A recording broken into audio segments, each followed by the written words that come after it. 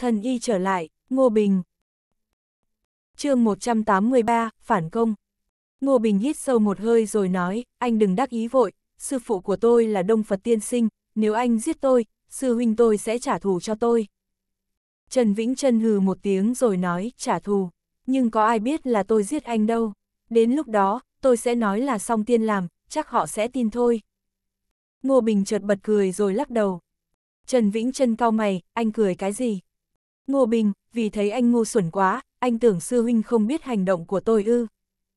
Trần Vĩnh Trân cả kinh rồi bật cười nói, nếu sư huynh anh mà ở đây thì đã ra tay rồi. Anh Ngô, anh đã trúng thôi tâm trưởng của tôi nên cùng lắm chỉ sống được vài phút nữa. Có gì chăn chối thì nói nốt đi, nếu làm được thì tôi sẽ giúp cho. Ngô Bình tỏ vẻ đau đớn rồi hộc ra thêm một ngụm máu nữa, Trần Vĩnh Trân, anh sẽ không có kết cục tốt đẹp đâu. Trần Vĩnh Trân mỉm cười, nói mấy chuyện đó có ý nghĩa gì chứ, thua thì vẫn hoàn thua, hiểu không? Ngô Bình nhìn anh ta, tôi không nên cứu anh, lẽ ra phải để từ thiên hữu đoạt linh hồn anh mới phải. Trần Vĩnh Trân hừ nói, ban đầu, từ thiên hữu nhận tôi làm đồ đệ, tôi hào hứng lắm, cứ tưởng có thể bái cao nhân làm sư phụ rồi, chắn chắn sau này tiền đồ sẽ rộng mở. Ai ngờ, lão già chết tiệt ấy chẳng có ý tốt đẹp gì, nhân lúc tôi tu luyện đã cướp mất cơ thể tôi. Nhưng lão ta cũng kiên nhẫn thật, để thể chất của tôi đạt đủ yêu cầu để lão đoạt xá, lão đã dốc lòng truyền thụ cho tôi những 10 năm. Nếu không có anh xuất hiện thì tôi đã trúng kế của lão rồi. Ha ha, nhưng người tính không bằng trời tính, mạng tôi lớn không chết được. Lúc này, chân khí màu vàng của Ngô Bình đã nối lại các mạch máu bị đứt, anh thầm thở phào một hơi rồi chậm chậm đứng dậy. Trần Vĩnh Trân vô thức lùi lại một bước rồi ngạc nhiên nói, anh không sao ư. Ngô Bình lau máu trên khóe miệng rồi thở ơ nói, thôi tâm trưởng của anh rất lợi hại, nó đã làm đứt động mạch của tôi. Đứt động mạch rồi mà anh vẫn sống được sao, Trần Vĩnh Trân híp mắt lại, cảm thấy rất khó tin. Ngô Bình nói cái sai lầm của anh là ra tay với người mà mình chưa tìm hiểu. Dứt lời, Ngô Bình lao về phía Trần Vĩnh Trân nhanh như điện. Trần Vĩnh Trân cũng có tu vi ở cảnh giới thần thức nên phản ứng lại rất nhanh, anh ta ngửa người ra sau rồi lùi lại. Xong, anh ta mới lùi được một chút thì đòn tấn công của Ngô Bình đã tới. Ngũ Long Thánh Quyền tới quá nhanh, Trần Vĩnh Trân không thể làm được. Ngô Bình đạp thẳng vào đầu gối của Trần Vĩnh Trân. Giác! Audio điện tử võ tấn bền. Một tiếng động vang lên, Trần Vĩnh Trân kêu lên đau đớn khớp gối bẻ gập, người anh ta khụy xuống, Ngô Bình lập tức đấm một cú vào mặt anh ta. Phụt! Sau cú đấm đó, mũi của Trần Vĩnh Trân đã gãy, răng rụng, xương gò và hàm má dập nát. Người anh ta đập vào một góc rồi bất động, cú đấm của Ngô Bình đã khiến ý thức của anh ta hỗn loạn, tinh thần rối bời. Bụp bụp! Ngay sau đó, Ngô Bình tung tiếp ba quyền vào các vị trí quan trọng trên người Trần Vĩnh Trân. Anh ghét nhất loại người dùng oán báo ân nên không thể tha cho anh ta được. Quyền thứ nhất, Ngô Bình đã đấm dập gan của Trần Vĩnh Trân, quyền thứ thứ hai tấn công tim, cuối cùng là phổi. Sau đó, Ngô Bình lùi lại, còn Trần Vĩnh Trân nằm im dưới đất, toàn thân bết máu. Ngô Bình nhìn anh ta rồi nói, trước đó, tôi rất tán thưởng anh. Nếu chúng ta thành bạn, anh sẽ là người may mắn, thật đáng tiếc. Trần Vĩnh Trân run lên, tay phải vẫn cử động được một chút, anh ta dùng nốt chút sức lực cuối cùng để viết hai từ, xin lỗi. Viết xong, Trần Vĩnh Trân gục đầu sang một bên, tay buôn lỏng, người cứng đờ, anh ta đã chết. Ngô Bình đứng dưới cơn mưa mà tâm trạng rối bời. Anh giơ tay lấy một chùm chìa khóa và ví tiền trên người Trần Vĩnh Trân, sau đó đi tới lối thoát hiểm rồi gọi cho Từ Quý Phi. Nửa tiếng sau, ông ấy đã dẫn các đệ tử thân tin của mình tới. Thi thể của Trần Vĩnh Trân nhanh chóng được xử lý, sau đó họ đi theo Ngô Bình về phòng 8605. Từ Quý Phi hỏi, người chết là ai thế? Ngô Bình thở dài, song tiên của lĩnh Nam và đồ đệ Trần Vĩnh Trân của họ. Từ Quý Phi hô lên một tiếng rồi biến sắc mặt. Chuyện, này là sao, ông ấy hỏi. Ngô Bình bỏ qua chuyện linh khí tử long, chỉ kể mình cứu Trần Vĩnh Trân rồi bị anh ta đánh lén. Từ Quý Phi nghe xong thì ngẩn người, vì thấy chuyện này quá khó tin. Sao Trần Vĩnh Trân muốn giết chú? Hình như đâu có lý do gì đâu. Chắc vì song tiên, họ là hai trợ thủ đắc lực của Hắc Thiên Giáo, có lẽ anh ta muốn dùng cái chết của họ để vu vạ cho em. Từ Quý Phi gật đầu, cũng có thể, chú gặp đại nạn mà vẫn qua khỏi thì chắc chắn sau này sẽ có phúc, thôi mình đi uống rượu đi. Ngô Bình cười khổ, vết thương của em chưa khỏi hẳn, tạm thời không uống rượu được. Từ quý phi vỗ vai anh, thế chú về nghỉ ngơi đi, sáng mau, anh lại đến thăm. Dứt lời, từ quý phi đi trước, song tiên và Trần Vĩnh Trân đã chết, đây là một chuyện lớn nên ông ấy phải đích thân xử lý, để tránh để lại manh mối. Từ quý phi đi rồi, Ngô Bình mới lấy chìa khóa và ví tiền của Trần Vĩnh Trân ra, trong ví có thẻ, chứng minh và tiền mặt. Anh lại lấy chìa khóa xe ra, Trần Vĩnh Trân giấu chiếc chìa khóa này rất kỹ, nếu không dùng tới khả năng nhìn xuyên thấu thì Ngô Bình đã bỏ qua nó rồi. Có lẽ chiếc chìa khóa xe này có ý nghĩa gì đó đặc biệt với Trần Vĩnh Trân hoặc từ Thiên Hữu. Nghĩ tới đây, anh lấy chìa khóa rồi đi xuống bãi đỗ xe của khách sạn, sau đó vừa đi vừa ấn chìa khóa. Cuối cùng, khi xuống tầng 3 của bãi đỗ xe, anh đã thấy một chiếc xe sáng đèn. Ngô Bình mở cửa xe rồi ngồi vào, sau đó bắt đầu tìm kiếm. Anh dùng khả năng nhìn xuyên thấu, chẳng mấy chốc đã phát hiện có ba phiến ngọc được giấu dưới đệm. Có ba phiến ngọc thôi mà giấu kỹ thế, Ngô Bình thấy kỳ lạ, vì vậy lật tấm đệm lên để lấy ngọc ra. Anh nhìn xuyên thấu vào ba viên ngọc rồi ngẩn người, hóa ra mảnh ngọc này được ghép từ rất nhiều lớp nhỏ thành, mỗi lớp đều rất mỏng. Phiến ngọc dính chặt vào nhau, khiến thoạt nhìn như một thể. Anh tiếp tục quan sát thì thấy trên phiến ngọc khác rất nhiều chữ và hình vẽ. Anh thầm thấy chấn động, lẽ nào đây cũng là đồ từ thời tiền sử. Anh không nhìn nữa mà cất nó vào túi, sau đó khởi động xe, chuẩn bị rời khỏi khách sạn. Chiếc xe chậm chậm lăn bánh, khi ra tới cổng khách sạn thì Ngô Bình nhìn thấy một nhóm tu sĩ xuống xe, sau đó bước nhanh vào khách sạn, đụng ngã cả nhân viên tiếp đón. Ngô Bình hơi hoảng, không lẽ những người này tới tìm song tiên. Anh đạp chân ga rồi tăng tốc. Ngô Bình vừa lái xe vừa gọi cho người bạn ở cục tình báo của mình, nhờ anh ta xóa hết hình ảnh của mình ở camera khách sạn và trên đường. Đây không phải chuyện gì quá khó nên bạn anh đồng ý ngay, sau đó còn nói, chú Ngô, bố lãnh đạo của bọn anh bị ốm, nếu rảnh thì chú qua khám chút nhé. Ngô Bình đã giúp người bạn này nhiều lần nên cười nói, vâng, sắp tới em sẽ lên thiên kinh, khi nào đến, em sẽ gọi cho anh. Người kia mừng rỡ, được, anh chờ tin của chú. chương 184, bí mật về phiến ngọc. Ngô Bình lái xe tới một bãi đậu xe, đỗ xe xong xuôi, anh mới bắt taxi về Sơn Trang Vân Đỉnh. Đường tử di đang chờ ở đây tới mức nóng ruột, thấy Ngô Bình bình an trở về thì mới thở phào một hơi rồi vội hỏi, sao anh đi lâu thế? Ngô Bình kể tóm tắt lại tình hình cho đường tử di nghe, biết tin Trần Vĩnh Trân đã chết, song tiên cũng đã đi chầu Diêm Vương, đường tử di kinh hãi rồi lẩm bẩm, đúng là quá nguy hiểm, lẽ ra em không nên để anh đi mới đúng. Ngô Bình, dù Yoi không đi thì song tiên cũng sẽ ra tay với anh, nhưng giờ thì không còn phiền phức gì nữa rồi. Đường tử di bảo người chuẩn bị đồ ăn đêm cho Ngô Bình rồi ngồi ăn cùng anh. Sau khi đã ăn no, Ngô Bình bắt đầu luyện quyền và tu luyện cách hít thở. Anh cảm thấy tu vi của mình vẫn rất thấp, sau này mà lại có ai ngấp nghé với linh khí tử long, anh vẫn sẽ đối mặt với nguy hiểm. Đến 4 giờ sáng, anh mới đi nghỉ. Lúc này, anh lấy ba phiến ngọc kia ra rồi nghiên cứu kỹ lưỡng. Trên mặt phiến ngọc có rất nhiều chữ viết cùng tranh vẽ. Chữ viết trên đó không phải hiện đại, nhưng Ngô Bình vẫn đọc được.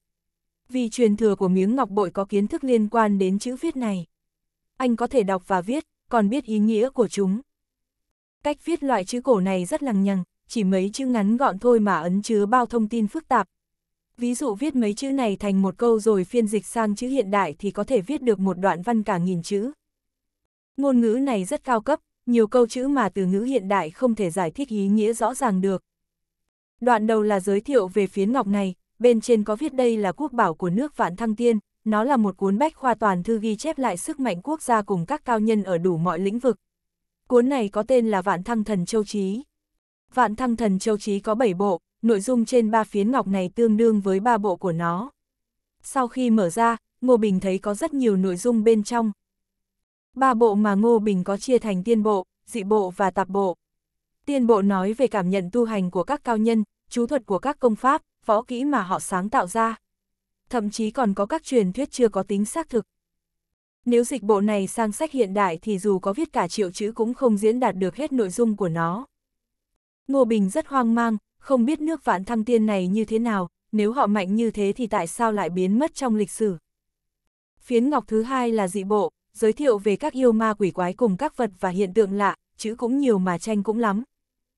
Tạp bộ là phức tạp nhất, nội dung bên trong viết về trời đất, y thuật, bói toán, tử vi, nhưng không theo một hệ thống nào cả. Xong, lại là một sự bổ sung rất cần thiết cho truyền thừa mà Ngô Bình đã nhận được. Truyền thừa trong miếng ngọc bội quá chung chung phạm vi lại nhỏ. Ví dụ chỉ có y thuật, võ thuật, nhưng võ thuật chỉ xoay quanh thiên địa huyền hoàng quyết, còn y thuật thì chỉ có các bài thuốc của vài cao nhân để lại.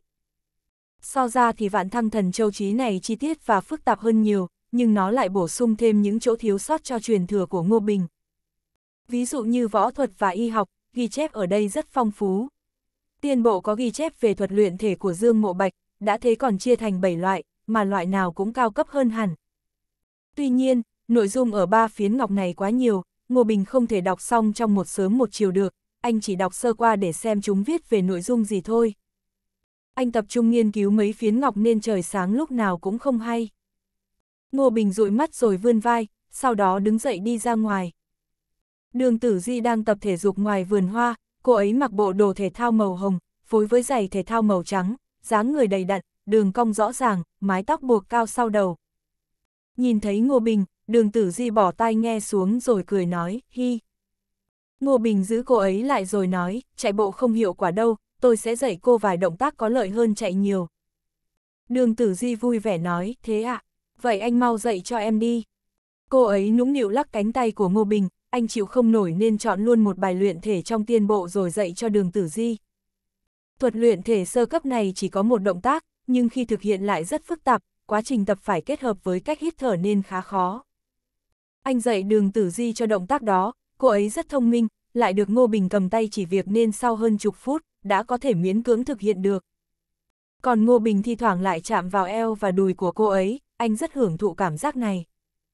Vì động tác quá khó nên đường tử di không thể tự thực hiện được, cô ấy dựa sát vào người Ngô Bình thì thấy cơ thể anh rất rắn chắc, hơn nữa hơi thở cũng thơm mát, làm tim cô ấy đập thình thịch. Đường tử di cắn môi rồi quay mặt về phía Ngô Bình, anh đang dạy cô ấy thì hai người đối mặt với nhau, miệng cũng gần trong gang tấc. Bốn mắt nhìn nhau, hơi thở gần kề, Ngô Bình ngắm nhìn gương mặt xinh đẹp của đường tử di rồi không nhịn được mà cúi xuống. Ngô Bình cũng ngước lên, sau đó đưa lưỡi ra liếm môi Ngô Bình. Ngô Bình đang định phản đòn thì lại có chuyện. Ngô Bình, sao dậy sớm thế, lúc này chợt có một giọng nói vang lên, đường Minh Huy cũng ra ngoài tập thể dục.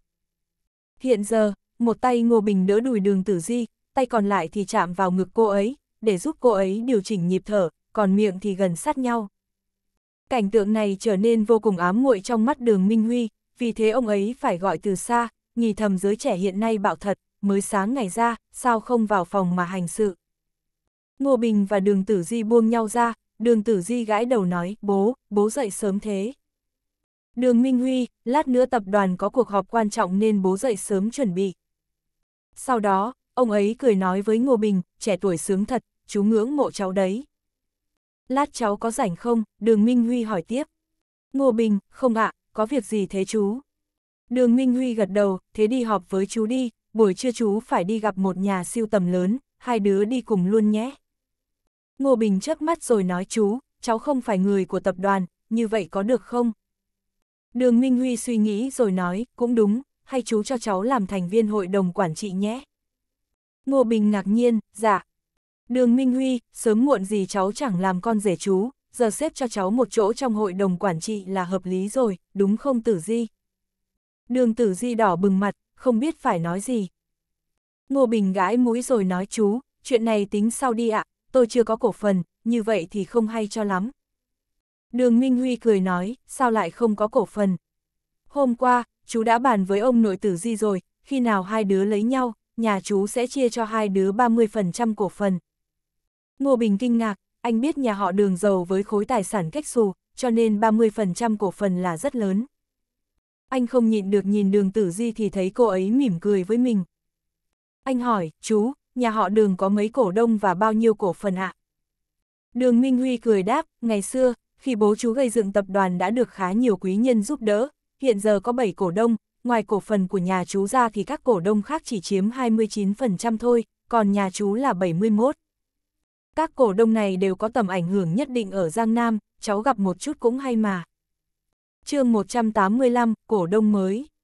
Ngô Bình gật đầu, anh thấy đường Minh Huy thật lòng muốn nâng đỡ mình, vì thế không từ chối nữa mà nói cảm ơn chú. Ông ấy vui vẻ nói, chạy mấy vòng với chú đi. Ngô Bình thật sự không muốn chạy với đường Minh Huy chút nào, anh thích dạy đường tử di luyện thể hơn, ít sao còn được động chạm vào người cô ấy. Nhưng giờ thì anh không thể từ chối đường Minh Huy được, cho nên đành gượng cười đồng ý. Đường tử di thấy thế thì bực mình rồi lườm nguyết bố mình. Đường Minh Huy rủ Ngô Bình chạy bộ, nhưng thực chất là có chuyện muốn nói với anh, đại khái là ông ấy mong anh hãy đối xử tốt với đường tử di, phải yêu thương cô ấy. Ăn sáng xong, vợ chồng đường Minh Huy, đường tử di, đường Thời Lộc và Ngô Bình cùng đến công ty tham gia cuộc họp cổ đông. Trước đó, đường Minh Huy đã nói cho Ngô Bình biết cuộc họp hôm nay có hai quyết định. Thứ nhất là tiến công vào thị trường phỉ thúy, dùng đó làm nền móng để xây dựng một thị trấn phỉ thúy đứng đầu toàn quốc. Thứ hai là dùng tầm ảnh hưởng của nhà họ đường để gây dựng một trung tâm giao dịch tranh chữ. Nơi này sẽ diễn ra các hoạt động giám định, đấu giá, thế chấp, định giá, tham quan và tiêu thụ. Hiện giờ, các cổ đông chưa thống nhất về hai vấn đề này, việc đường Minh Huy cần làm chính là thuyết phục các cổ đông nhỏ đồng ý. Đây là hai việc mà đường thời lộc ấp ủ đã lâu, ông cụ rất mong đường Minh Huy có thể thực hiện được. Tổng công ty của tập đoàn đường thị nằm ở tòa nhà lớn đường đế, tòa nhà này cao 10 tầng, đây chính là một trong những biểu tượng của Vân Kinh. Trên tầng chót của tòa nhà này có một phòng học lớn được bày trí xa hoa như cung điện. Lúc này, các cổ đông đều đã tới, chỉ còn chờ mỗi nhà đường Minh Huy. Đường Minh Huy ngồi ở vị trí chủ chốt trong phòng họp, đường Tử Di ngồi ghế đầu ở phía bên trái bố mình, còn Ngô Bình thì ngồi cạnh cô ấy. Thấy có người lạ mặt tới, ai nấy đều tò mò không biết anh có lai lịch thế nào. Ngô Bình vừa liếc nhìn đã thấy hai người quen, đó là Kim Vĩnh Lợi và Nhậm San San con gái của Nhậm Thiên Thắng ở Hải Thành.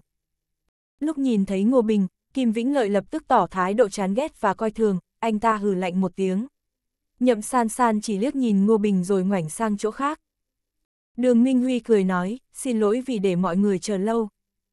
Một ông lão dâu tóc bạc phơ mỉm cười hiền từ nói, Minh Huy, anh còn sức trẻ nên để anh làm chủ, như vậy mọi người cũng yên tâm. Đường Minh Huy cười nói, chú Viên quá khen, cháu vẫn ít tuổi, kinh nghiệm chưa nhiều nên cần các bác các chú và các anh em chỉ dạy. Ha ha, chú đừng khiêm tốn, bọn anh đều rất phục năng lực của chú. Sơn Trang Thái Khang kiếm được một khoản tiền lớn, Vịnh Bạch Long chắc cũng không kém cạnh. Chú đúng là thần tài dẫn đường cho mọi người.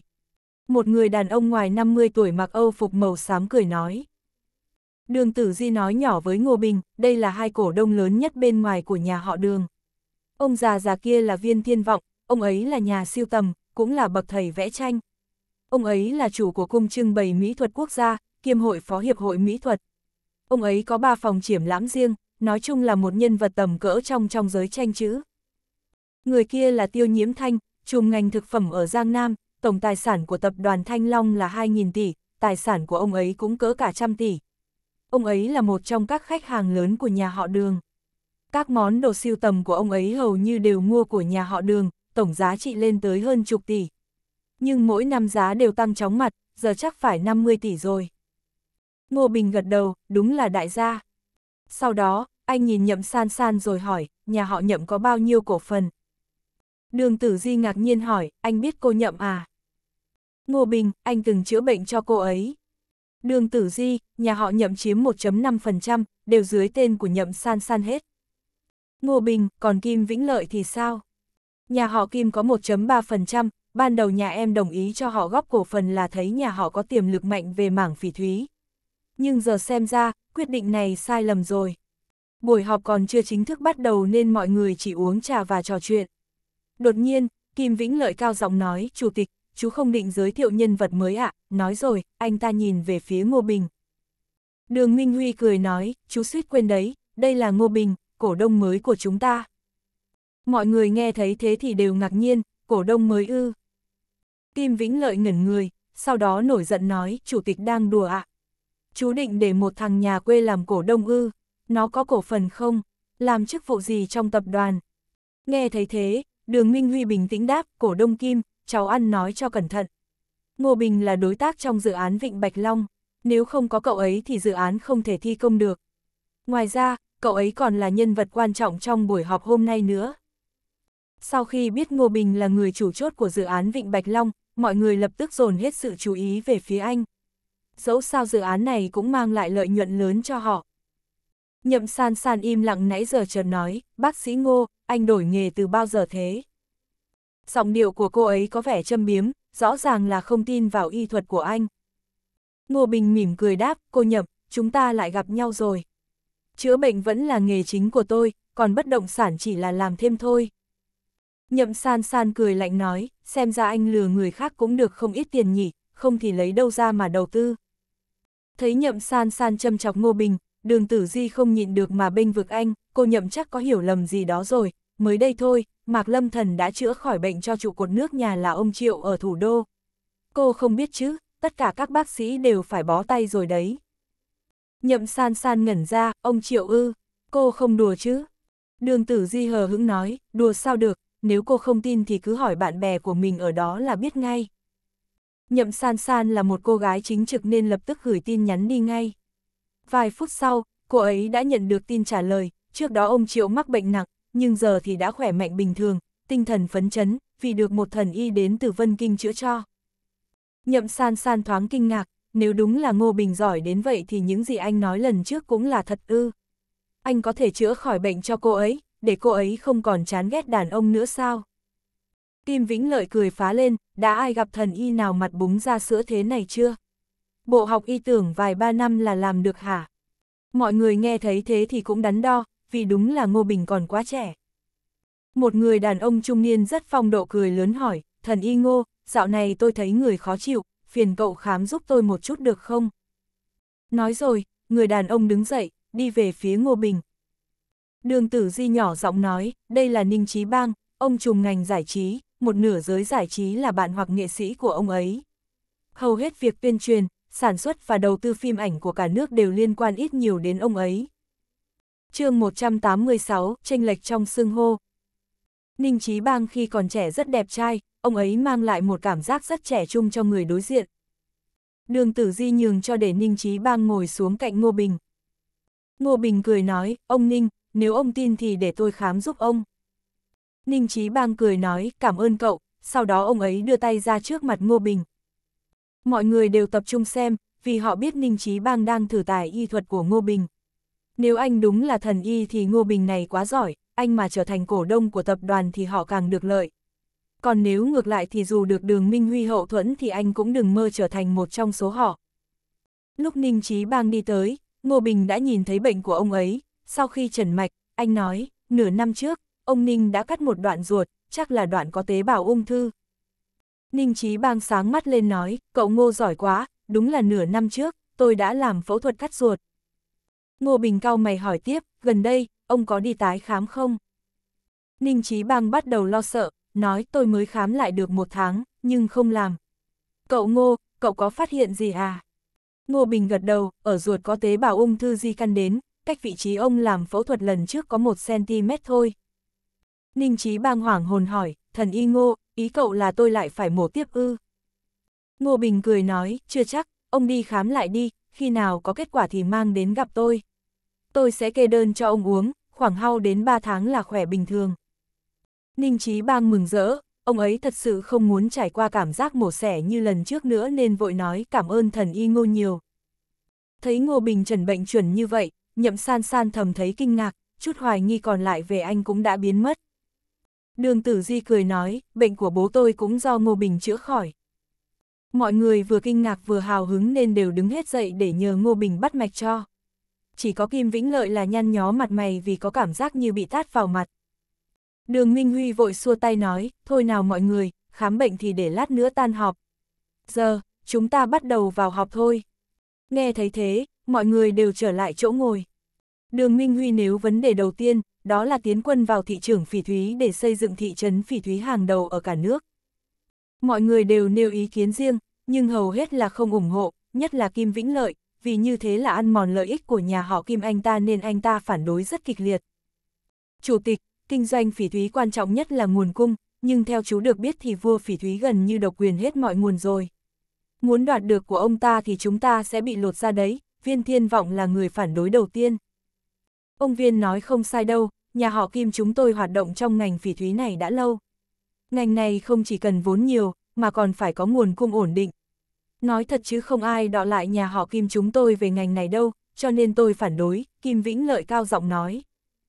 Nhậm san san, tôi cũng phản đối, ngành phỉ thúy thì giàu ngoài mặt thôi, tiếp đến là vấn nạn buôn lậu, mà hàng giá trị thấp lại nhiều, phỉ thúy giá cao rất hiếm trên thị trường. Tôi không nghĩ chúng ta có thể xây dựng một thị trấn phỉ thúy có tính khả thi hơn đổ thạch thành của nhà họ Kim đâu. Đường Minh Huy cười nói, vấn đề nguồn cung thì tôi muốn mời cổ đông ngô trả lời thay tôi. Ai nấy đều có vẻ mù mờ, Ngô Bình trả lời ư. Lẽ nào anh có thể giải quyết được vấn đề nguồn cung? Ngô Bình gật đầu rồi nói, thưa các vị, tôi chơi khá thân với vua phỉ thúy nên mọi người không phải lo về vấn đề nguồn cung đâu. Kim Vĩnh Lợi đập mạnh xuống mặt bàn, mày chơi với vua phỉ thúy ư. Ngô Bình, chém gió cũng phải để ý hoàn cảnh chứ, loại như mày mà cũng dám với cao thế à. Ngô Bình cao mày, Kim Vĩnh Lợi này khiến người ta bực mình như một cái loa rẻ, anh nói tôi chỉ có sao nói vậy thôi. Kim Vĩnh Lợi hừ một tiếng, mày định lừa ai hả? Ngô Bình nhìn anh ta, Kim Vĩnh Lợi, hình như anh rất có định kiến với tôi thì phải. Nếu anh không tin thì tôi sẽ dùng một phần trăm cổ phần của nhà họ đường để cược với anh. Nếu tôi không lấy được hàng từ chỗ vua phỉ thúy, tôi sẽ cho anh một phần trăm cổ phần ấy. Ngược lại, nếu anh thua thì phải đưa tôi một phần trăm của anh, dám chơi không? Kim Vĩnh Lợi thoáng kinh ngạc, một phần trăm cổ phần là cả chục tỷ, đương nhiên anh ta không dám cược nên chỉ cười lạnh nói cổ phần. Mày có à? Có chứ, đường Minh Huy hờ hững nói, nếu Ngô Bình thua, tôi sẽ trả một phần trăm này thay cậu ấy. Kim Vĩnh Lợi ngạc nhiên, đầu óc đường Minh Huy có vấn đề rồi ư. Tại sao lại theo phe Ngô Bình? Kim Vĩnh Lợi, nếu anh không dám thì ngậm miệng lại đi, Ngô Bình trừng mắt với anh ta. Kim Vĩnh Lợi nổi điên, dẫu sao anh ta cũng là cậu chủ của nhà họ Kim ở Thiên Kinh nên sao nuốt trôi cục tức này được. Anh ta đập bàn nói, Ngô Bình, mày đừng đắc ý vội, tao sẽ chơi với mày, tao không tin Tiết Thái Hổ lại cấp hàng cho mày. Kim Vĩnh Lợi rất tự tin vào điều đó, vì hiện giờ nhà họ Kim của anh ta mới là đối tác lớn nhất của Tiết Thái Hổ. Hơn nữa, ông chủ lớn đứng sau nhà họ Kim và Tiết Thái Hổ có liên quan lợi ích nhất định. Anh ta không tin Tiết Thái Hổ dám trở mặt với gia tộc của anh ta vì Ngô Bình. Ngô Bình gật đầu, tốt, dũng cảm đấy. Đường Tử Di nói, nếu đã là cá cược thì phải có giấy tờ đàng hoàng, tất cả cổ đông ở đây sẽ làm chứng. Nếu bên nào thua thì phải trả đúng một phần trăm cổ phần theo giá của đường thị. Ngô Bình, tôi đồng ý. Kim Vĩnh Lợi cười lạnh, tôi cũng đồng ý. Các cổ đông khác bàn bạc với nhau một lát rồi cũng đồng ý, dẫu sao họ cũng hiếm gặp một vụ cá cược lớn cỡ này. Ngô Bình lập tức gọi video cho Tiết Thái Hổ rồi còn phát lên màn hình lớn. Điện thoại rất nhanh được kết nối, Tiết Thái Hổ đang mặc đồ ngủ và nằm trên giường, hai bên là hai người đẹp mặc nửa kín nửa hở. Nhìn thấy Ngô Bình, Tiết Thái Hổ vội ngồi dậy rồi nịnh nọt cười nói, cậu chủ Ngô, cậu tìm tôi có việc gì thế? Mọi người hết hồn, Tiết Thái Hổ bá chủ của Biên Nam đang gọi Ngô Bình là cậu chủ ư. Ngô Bình nói, anh Thái Hổ, tôi có việc muốn nói với anh. Nhà họ đường chuẩn bị tiến công vào thị trường phỉ thúy, sau này nguồn cung phải dựa cả vào anh, được chứ? Thấy Ngô Bình gọi mình là anh, Tiết Thái Hổ sung sướng rồi cao giọng nói, được chứ? Chỉ cần cậu chủ nói một câu thôi, bao nhiêu cũng có hết. Kim Vĩnh Lợi sốt sáng hẳn, anh ta bước nhanh tới rồi nói với điện thoại, ông Hổ, tôi là Vĩnh Lợi đây. Nụ cười trên mặt Tiết Thái Hổ lập tức biến mất, gã thờ ơ nói với Kim Vĩnh Lợi, cậu Kim đấy hả, sao cậu lại ở cạnh cậu chủ ngô? Cuộc hội thoại này đã xuất hiện sự tranh lệch trong xưng hô, Tiết Thái Hổ gọi Ngô Bình là cậu chủ, còn Kim Vĩnh Lợi lại gọi gã là ông Hổ. Kim Vĩnh Lợi vội cười trừ nói, ông Hổ, tôi thay mặt nhà họ Kim hy vọng ông đừng cung cấp hàng cho Ngô Bình, dẫu sao cũng ta cũng đã làm ăn với nhau lâu rồi mà. Tiết Thái Hổ lập tức biến sắc mặt rồi quát, mẹ kiếp. Chuyện hợp tác giữa tôi và cậu chủ ngô đến lượt hãng tép siêu như cậu xía vào hà. Từ trở trở đi, nhà họ Kim đừng mơ mua được phỉ thúy của tôi nữa. chương 187, Kim Vĩnh Lợi bật khóc. Tất cả mọi người đều hết hồn, Tiết Thái Hổ định ngưng cấp hàng cho nhà họ Kim ư.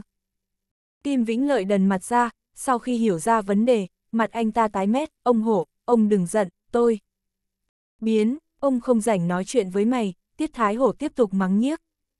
Kim Vĩnh Lợi như sắp khóc đến nơi, tại sao lại thế này? Đây là một cơn ác mộng ư. Anh ta nào biết Ngô Bình là khắc tinh của Tiết Thái Hổ, hơn nữa Tiết Thái Hổ còn chuẩn bị đến miến điện để mua đá thô và rất cần có một trợ thủ đắc lực như Ngô Bình đi cùng.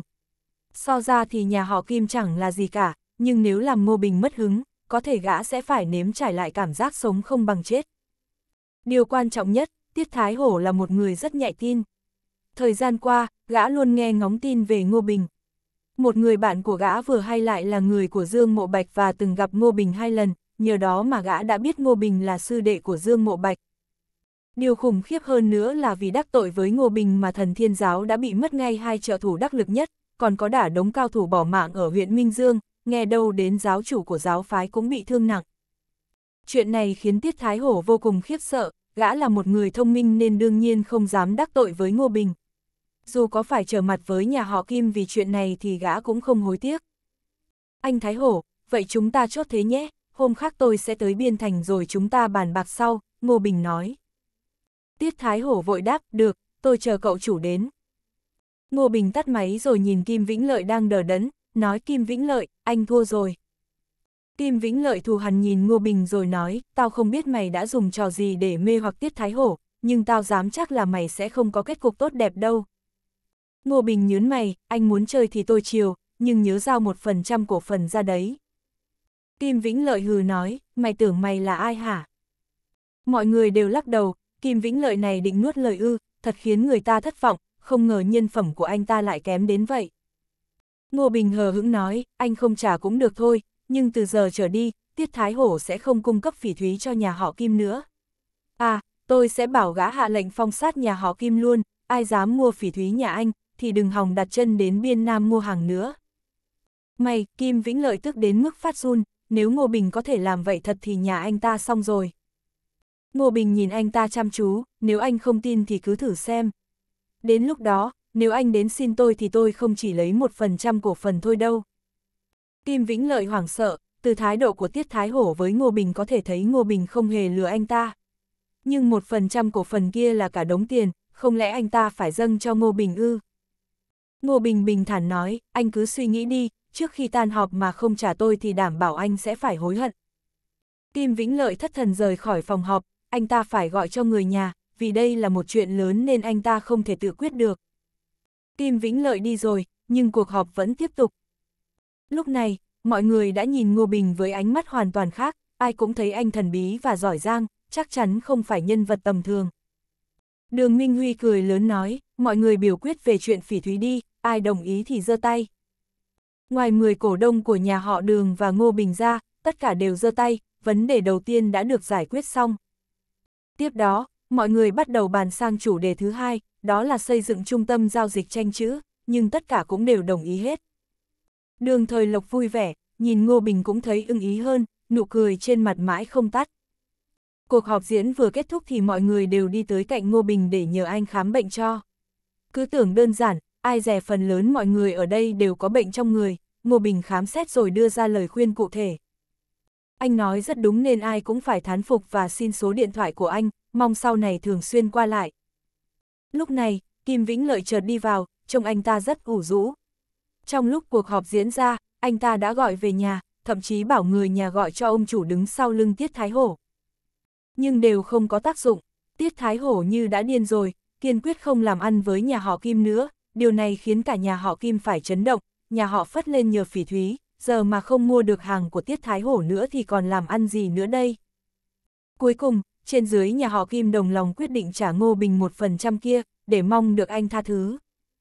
Đồng thời, Kim Vĩnh Lợi cũng bị mắng té tát và bị bắt đi xin lỗi Ngô Bình.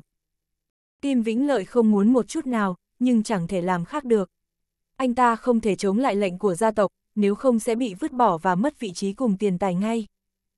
Vì thế, Kim Vĩnh Lợi đành cắn răng đi tới cạnh Ngô Bình rồi cúi người xuống nói, anh Ngô, tôi xin lỗi vì luôn châm chọc anh, là tôi không hiểu chuyện, tôi có mắt như mù, xin anh tha lỗi cho tôi. Tôi sẽ chuyển cho anh một phần trăm cổ phần kia coi như xin lỗi. Ngô Bình cười lạnh nói, cổ phần thì tôi nhận, nhà anh vẫn tiếp tục làm ăn với Tiết Thái Hổ. Nhưng sau này anh không được xuất hiện trước mặt tôi nữa. Kim Vĩnh Lợi không dám nói lại một câu mà gọi ngay luật sư tới lo thủ tục giấy tờ để ký hợp đồng với Ngô Bình luôn. Cứ thế, Ngô Bình đã lấy được một phần trăm cổ phần của nhà họ đường. Sau khi ký kết xong, Kim Vĩnh Lợi không muốn ở lại nên bỏ đi ngay. Không ai thấy vẻ thù địch hằn rõ trong mắt anh ta. Ngô Bình, nhất định tao sẽ giết mày, còn cho cả nhà mày chôn cùng nữa, Kim Vĩnh Lợi gào thét trong lòng, thù hận khiến người anh ta run lên. Ngô Bình không để ý đến anh ta, chờ cuộc họp kết thúc, mọi người về hết, anh cũng rời đi.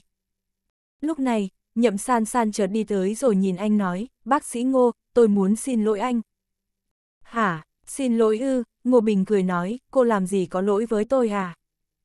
Nhậm san san đáp, ừm, trước kia tôi không nên nghi ngờ y thuật của anh, hôm nay cũng không nên châm chọc anh, xin lỗi nhé.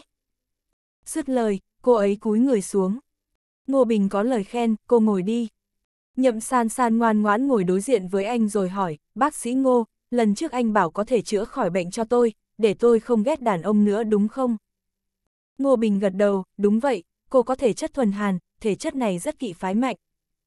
Nhậm san san vội hỏi, phải chữa thế nào? Ngô Bình nhìn cô ấy rồi nói, thật ra rất đơn giản, cô hãy trao lần đầu của mình cho người đàn ông mà cô thích, thể chất ấy tự khắc biến mất thôi. Nhậm san san nghệt mặt ra, đường tử di ngồi cạnh đó cũng thoáng ngạc nhiên, kiểu chữa bệnh gì vậy? Nhậm san san đỏ mặt hỏi, không còn cách nào khác ạ? À? Ngô Bình, không, chỉ có cách ấy thôi. Nhậm san san cao mày, nhưng tôi rất ghét đàn ông nên không thể tiếp xúc được. Chuyện này đơn giản, cô hãy tìm người nào mà mình ưng ý rồi dẫn anh ta tới gặp tôi. Tôi sẽ có cách cho cô tạm thời không ghét anh ta nữa. Ngô Bình cười nói, cô có số của tôi rồi nhỉ, cứ tìm người đi rồi gọi cho tôi. Nói rồi, anh đứng dậy rời đi, để một mình nhậm san san đờ đẫn ở lại. Rời khỏi tòa nhà, đường Minh Huy nhìn đồng hồ rồi nói, Ngô Bình, chúng ta đi gặp một nhà siêu tầm đi. Ngô Bình tò mò hỏi, ai thế ạ? À?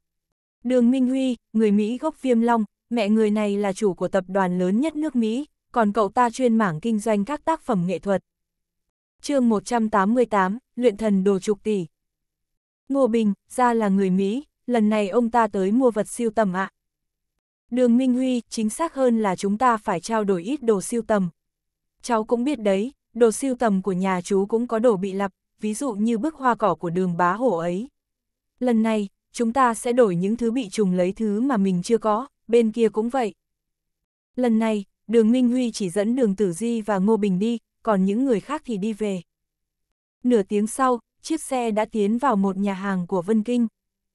Nhà hàng này cũng đã khá lâu đời, dù bên ngoài trông không quá bắt mắt, nhưng lại là một trong những nơi mà người Vân Kinh chọn để tiếp đãi khách quý. Cả nhà hàng đã được đường Minh Huy bao chọn, ông ấy còn xếp người đứng chờ ngoài cửa. Chiếc sư vừa dừng lại, quản gia đã đi tới mở cửa rồi nói, ông chủ, đã sắp xếp xong hết rồi ạ. À? Ông Lạc Trần Duyên và người của ông ấy khoảng nửa tiếng nữa sẽ tới. Đường Minh Huy gật đầu, ừm. Ba người đi vào tầng 1, các phòng ở đây đã được dọn sạch, tranh chữ thì treo trên tường, còn bình gốm, các đồ đồng thì bày trên bàn. Đường Minh Huy cười nói, Ngô Bình, đây là đồ mà chú định đổi, toàn chọn theo yêu cầu của bên kia đấy. Ngô Bình nhìn quanh một vòng, các món đồ cổ này có hơi thở khác nhau, chứng tỏ chúng xuất hiện vào các thời đại khác nhau. Đột nhiên anh chợt dừng bước rồi nhìn vào một bức tranh. Đây là một bức tranh không quá tinh xảo, chỉ có một ngọn núi cao chọc trời, trên đỉnh núi là mặt trời sáng chói. Ngô Bình phát hiện bức tranh này có ẩn chứa khí tức rất đặc biệt. Anh chợt nổi hứng rồi khởi động khả năng nhìn xuyên thấu, sau đó toàn thân run lên, vì anh thấy ngọn núi trong bức tranh đã biến thành núi thật, còn mặt trời trên đỉnh núi đang tỏa ra những tia nắng vô tận. Anh nhắm mắt lại, nhưng nội tâm thì đang dậy sóng. Bức tranh này không đơn giản, mà là một bức luyện thần đồ. Tiên bộ cũng có ghi chép về loại tranh này. Khi tu sĩ tiến vào cảnh giới luyện thần, nếu muốn ngưng tụ thần thức thì phải luyện thần. Ngô Bình lập tức hỏi đường Minh Huy, bức tranh này có lai lịch thế nào ạ? Đường Minh Huy cười đáp, 40 năm trước bị mất mùa, một hòa thượng sắp chết đói đã đến hóa duyên ở nhà chú, ông nội chú thấy ông ấy đáng thương nên đã cho ở nhờ một tháng. Vị hòa thượng ấy rất cảm kích nên trước khi đi đã để lại bức tranh này. Ngô Bình, phía bên kia cũng yêu cầu bức tranh này ạ. À? Đường Minh Huy gật đầu, ừ, nửa năm trước, Lạc Trần Duyên tham gia triển lãm của nhà chú. Khi ấy, cậu ta rất thích bức tranh này, nên khi trao đổi vật siêu tầm lần này, cậu ta đã nhắc đến bức tranh này ngay. Ngô Bình gật đầu nói, chú cho cháu bức này được không? Đường Minh Huy cười lớn nói, nếu cháu thích thì lấy đi. Ngô Bình là ân nhân lớn của nhà họ đường, thì họ tiếc gì bức tranh này chứ? Ngô Bình lấy bức tranh xuống, sau đó đưa cho đường tử di, tử di, em mang ra xe đi. Dù đường tử di thấy hành động của Ngô Bình rất lạ, nhưng cũng không hỏi nhiều, cô ấy nhận lấy bức tranh rồi bảo quản ra bỏ vào cốp xe. Bấy giờ, Ngô Bình mới nói với đường Minh Huy chú, ví dụ lát nữa Lạc Trần Duyên có hỏi về bức tranh này, chú cứ bảo vị hòa thượng năm xưa đột nhiên đến rồi xin lại nhé ạ. Đường Minh Huy ngẩn người nói, chú nhớ là năm ấy, vị hòa thượng kia già lắm rồi, chắc gì giờ đã còn sống. Ngô Bình cười nói, mình cứ nói bừa vậy mà. Đường Minh Huy gật đầu, được rồi. Đường Tử Di rất thông minh nên hỏi ngay, bức tranh đó có gì đặc biệt vậy anh? Ngô Bình đáp, với người bình thường thì nó không có gì đặc biệt cả, nhưng với người tu hành thì lại rất có giá trị. Anh tiến lại gần đường Tử Di rồi nói, có thể mục đích thật sự của Lạc Trần Duyên chính là bức tranh ấy. Đường Tử Di chớp mắt nói, vì thế anh mới cất luôn đi à? Ngô Bình cười đáp, ừm, nếu anh đoán không nhầm thì Lạc Trần Duyên là một cao thủ. Một lát sau, đã có tiếng chào của quản gia vang lên ở bên ngoài, đường Minh Huy vội ra đón tiếp. Một người đàn ông khoảng 40 tuổi, gương mặt lai tây đầy khí thế bước vào. Ông ta mặc trang phục thời đường, sau đó mỉm cười chắp tay với đường Minh Huy, xin lỗi vì để ông đường phải chờ lâu. Đường Minh Huy cười nói, nào có, tôi cũng mới tới thôi. Ông Lạc, đồ của tôi ở đây hết rồi, ông có muốn xem qua không? Lạc Trần Duyên gật đầu, có chứ. Đường Minh Huy dẫn Lạc Trần Duyên vào phòng để đồ, ông ta đi một vòng, thi thoảng lại cất giọng khen ngợi đồ siêu tầm của đường Minh Huy. Sau khi xem hết một lượt, ông ta hỏi, hết rồi ư. Đường Minh Huy hơi trột dạ rồi cười nói, tất cả đồ đây rồi. Lạc Trần Duyên, ông Đường, lần trước tôi nhìn thấy một bức tranh mà, sao giờ không thấy đâu. Đường Minh Huy biến sắc mặt nói, bức tranh của vị hòa thượng ấy hả? Thật lòng xin lỗi ông Lạc, mấy hôm trước, vị hòa thượng ấy đã đến và mua lại nó rồi. Lạc Trần Duyên hơi sầm mặt xuống, vị hòa thượng đó tới ư. Ông Đường, ông đừng đùa nữa, tôi nhớ ông kể ngày xưa vị hòa thượng ấy đã trên 80 rồi. 40 năm đã qua, ít nhất ông ấy cũng phải 120 tuổi đó. Ngô Bình đi tới rồi nói, nếu tu vi của một người đạt tới cảnh giới võ vương thì hoàn toàn có thể sống tới 120 tuổi. Lạc Trần Duyên cau mày rồi nhìn Ngô Bình đăm đăm, cậu là ai? Ngô Bình, tôi là cổ đông của nhà họ đường, tôi họ Ngô. Lạc Trần Duyên, ý cậu là vị hòa thượng ấy đã ở cảnh giới võ vương rồi ư. Ngô Bình, khéo còn là võ thần ý chứ, ai mà biết được. Tôi nhìn ông cũng nhiều tuổi rồi. Lạc Trần Duyên trầm mặc, sau đó chắp tay với đường Minh Huy, ông đường, tôi đột nhiên nhớ ra có việc rất quan trọng cần làm gấp, việc ở đây để trợ lý tôi lo liệu nhé. Đường Minh Huy, được, ông Lạc bận thì cứ đi đi. Lạc Trần Duyên vội vã rời đi, chỉ còn trợ lý và người của ông ta ở lại tiến hành trao đổi. Lạc Trần Duyên vừa đi thì đường Minh Huy nói, Ngô Bình, cháu đoán đúng rồi, quả nhiên gã họ Lạc này đến vì bức tranh ấy. Ngô Bình, ông ta cũng là người tu hành, hơn nữa tu vi còn cao hơn cháu. Đường tử di tò mò hỏi, cao hơn anh thì ở cấp nào rồi? Cảnh giới tiên thiên, Ngô Bình đáp. Đường tử di kinh ngạc, cô ấy và đường Minh Huy đưa mắt nhìn nhau, không ngờ một ông chủ lớn như thế lại là tông sư cảnh giới tiên thiên. Ngô Bình, không biết ông ta có tin lời mình nói không nhỉ? Ngô Bình cười nói, chuyện này không quan trọng, chủ yếu là cháu đã nói ý cho ông ta biết rằng chúng ta cũng biết giá trị của bức tranh ấy. Đường tử di, vậy là ông ta bỏ cuộc rồi ư? Ngô Bình, nếu ông ta vẫn muốn có bức tranh ấy thì kiểu gì cũng quay lại. Quay lại, vậy là ông ta vẫn muốn mua nó ư? Ngô Bình, đúng thế. Anh nhìn đường Minh Huy chú, nếu ông ta quay lại tìm chú thì chú nhớ bảo phải hỏi lại vị hòa thượng kia. Nếu ông ta ra giá thì chú cứ đòi 10 tỷ, không mặc cả. Đường Minh Huy giật bắn mình, 10 tỷ ư. chương 189, ma trận bạch cốt. Ngô Bình, vâng, đúng 10 tỷ, không được bớt một đồng nào. Đường Minh Huy và đường Tử Di ngơ ngác nhìn nhau, sau đó đường Tử Di nói, Ngô Bình, 10 tỷ có nhiều quá không anh? Ngô Bình lắc đầu, bức tranh này có thể giúp một tông sư cảnh giới thần đột phá lên cảnh giới tiên thiên, cho nên 10 tỷ không nhiều đâu. Và lại, con trai của người điều hành tập đoàn lớn nhất nước Mỹ mà lại thiếu tiền ư.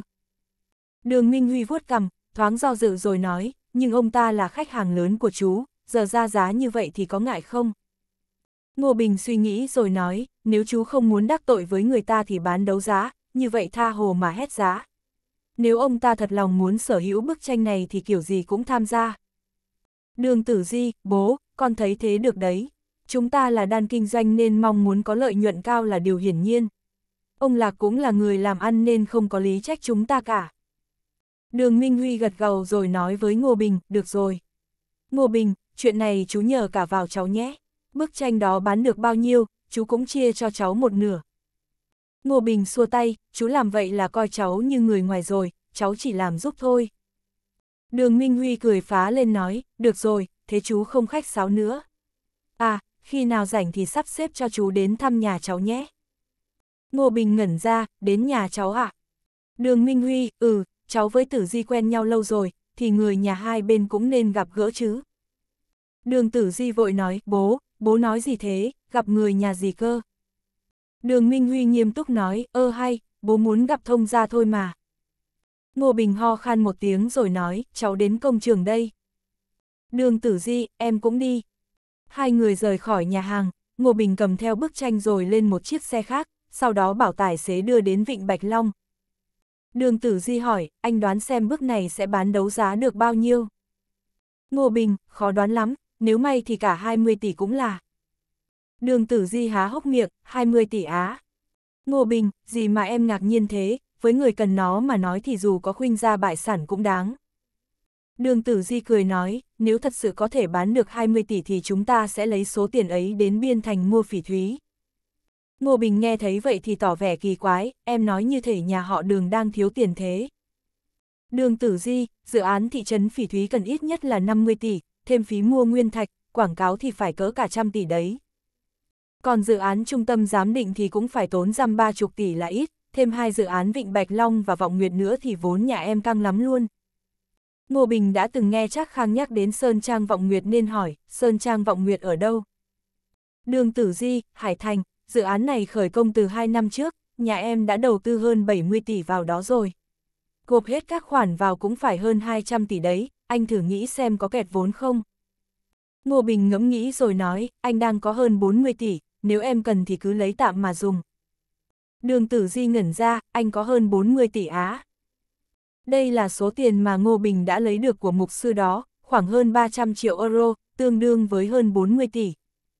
Anh mới kiếm được đấy, Ngô Bình cười nói, anh có thể cho em vay 30 tỷ. Thế thì tốt quá, đường tử di nói, em sẽ đầu tư vào thị trấn phỉ thúy nhé, anh thấy sao?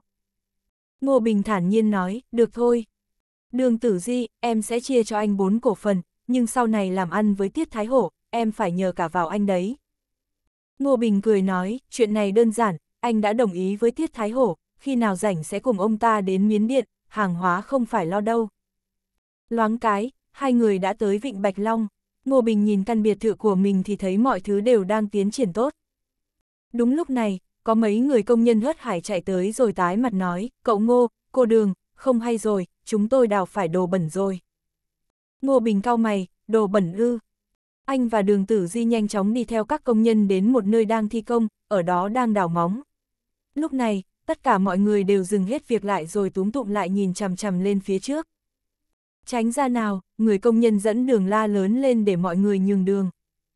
Ngô Bình đi xuyên qua đám đông thì nhìn thấy vị trí đào móng có một con mương, dưới đó toàn là xương trắng. Do trước đó, các công nhân không biết nên cứ đào sới nên nhiều khúc xương đã bị vỡ. Ngô Bình khởi động khả năng nhìn xuyên thấu thì thấy trên các khúc xương ấy có một màn sáng màu đen rất mạnh. Anh híp mắt lại nói, mọi người tạm nghỉ đi, ngày mai sẽ làm tiếp, tiền công vẫn tính như thường. Các công nhân nghe thấy thế thì hoan hô rồi rời đi. Chỉ có các thợ cả ở lại để nghe Ngô Bình phân phó. Ngô Bình, các anh cho vài người quê chỗ này lại, đừng cho ai tới gần. Mấy người đó gật đầu rồi đi làm ngay. Đường tử di thấy Ngô Bình có vẻ nghiêm túc thì hỏi, có chuyện gì vậy anh? Ngô Bình thở dài, nếu anh đoán không nhầm thì có người từng bày bố ma trận bạch cốt ở đây. Đường tử di ngẩn ra, cái gì cơ? Đó là một loại trận pháp tà công, có thể tu luyện ra tà lực. Tà lực này có thể dễ dàng giết chết cường giả cảnh giới võ thần, võ vương nên rất lợi hại, Ngô Bình nói tiếp, nhưng tu luyện công pháp này cần giết hại rất nhiều mạng người vô tội, dù có người dám làm thì khéo mới giết được mấy người đã bị bắt rồi. Nhưng sao ở đây lại có ma trận bạch cốt, đường tử di tò mò hỏi. Ngô Bình khẽ thở dài nói, chiến tranh, chỉ có thời chiến tranh mới có người dám làm vậy.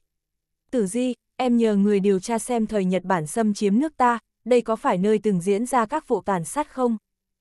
Đường tử di gật đầu, vâng, em quen mấy người chuyên nghiên cứu về thời nước ta bị Nhật Bản xâm chiếm, để em hỏi họ.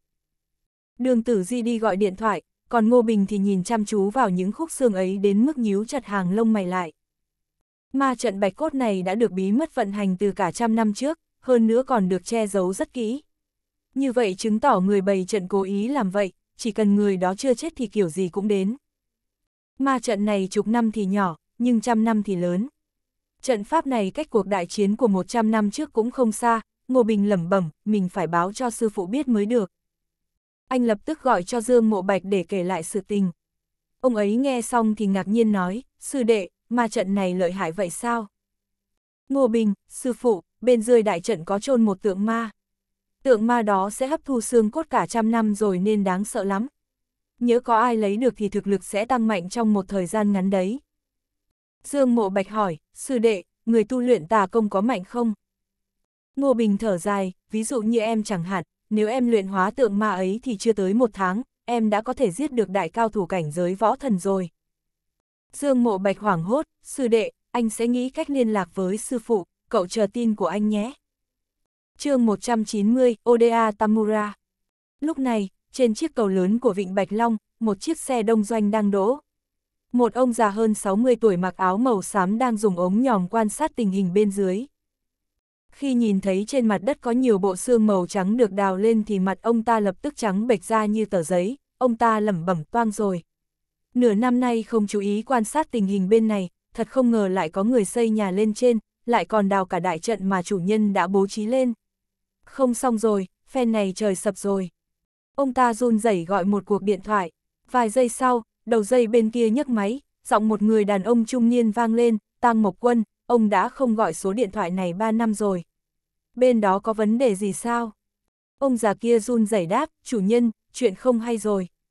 Vịnh Bạch Long bị khai quật, họ đã đào thấy ma trận.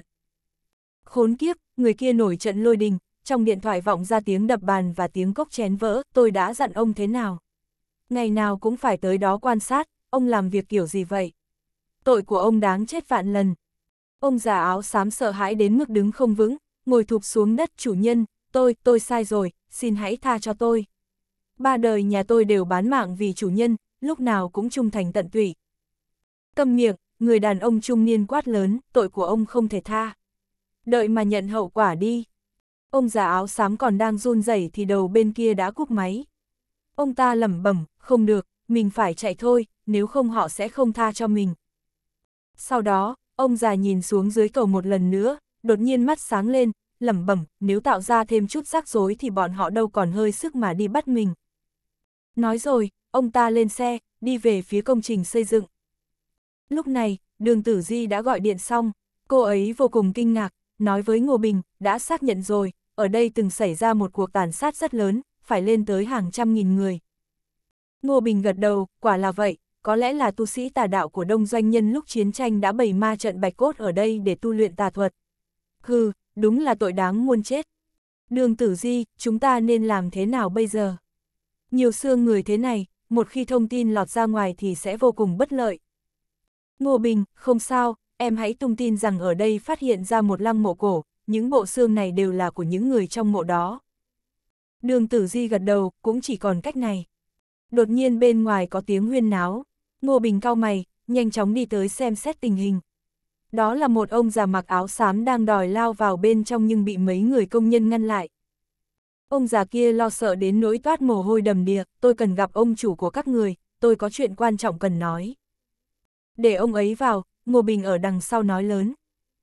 Mấy người công nhân nghe vậy mới cho ông già áo xám đi vào. Ông già chạy tới trước mặt Ngô Bình hỏi, cậu là ông chủ ở đây sao? Ngô Bình gật đầu đáp, đúng vậy, ông tìm tôi có việc gì sao? Ông già kia hít sâu một hơi, đáp tôi nói cho cậu biết, các cậu đang gặp rắc rối lớn rồi. Ngô Bình liếc mắt nhìn ông già, hỏi, rắc rối gì vậy?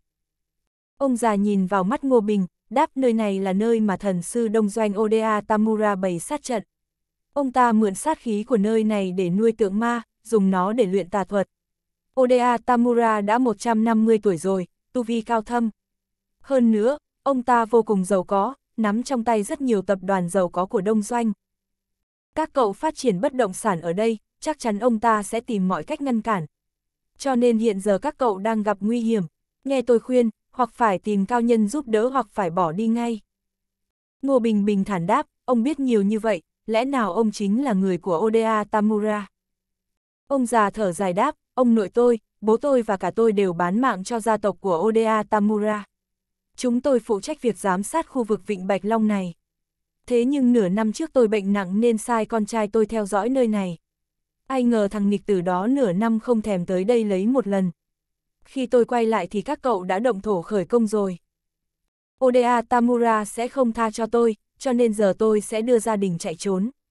Thế nhưng đều là người viêm long, tôi không muốn các cậu mất mạng mà không hiểu lý do cho nên mới tới khuyên cậu. Ông già nghiêm mặt lại, nói tiếp, mong cậu đưa ra quyết định sáng suốt.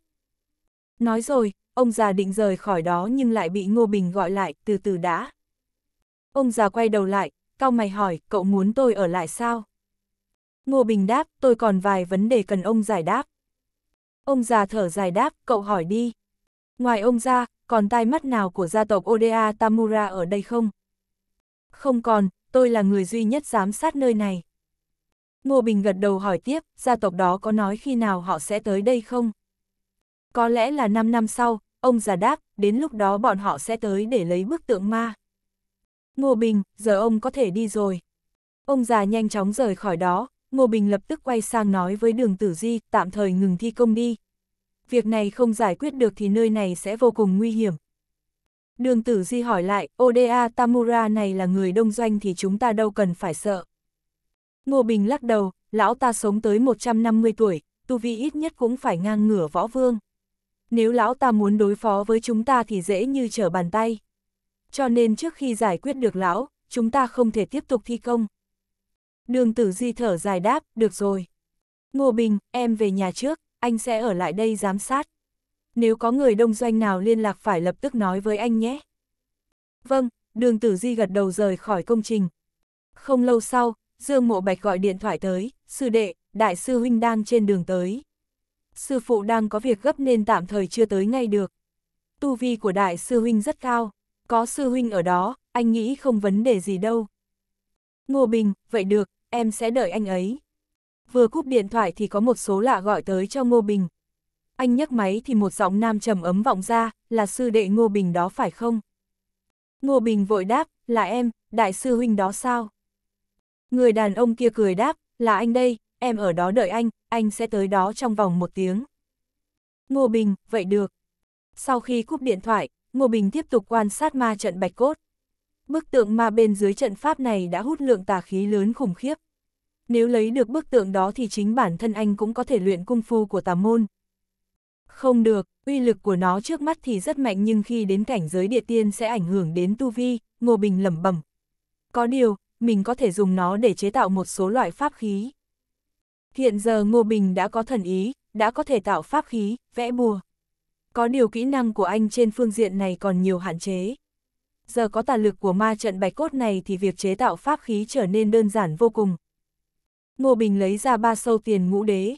Trước đó anh đã mua 12 sâu tiền ngũ đế nhưng chỉ mang theo ba sâu trên người.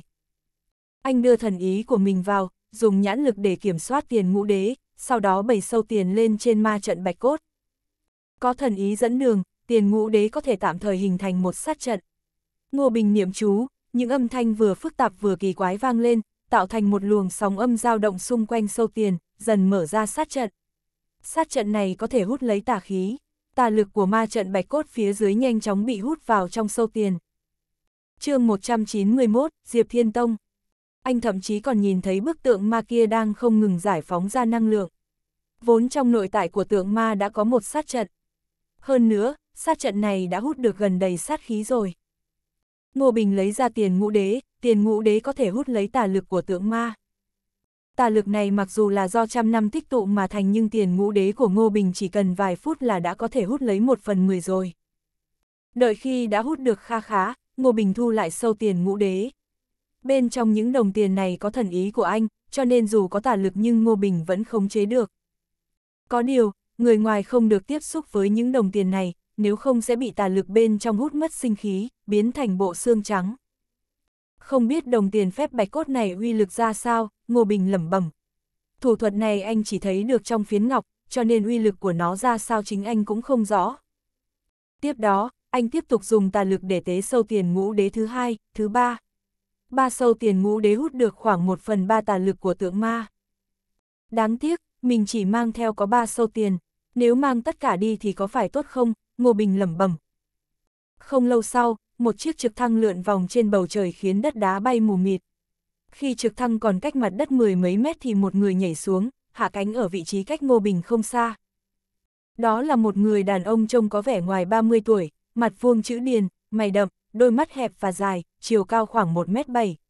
Gương mặt người đàn ông có vẻ đăm chiêu, người đó đưa mắt nhìn ma trận bạch cốt, sau đó mới đi về phía Ngô Bình.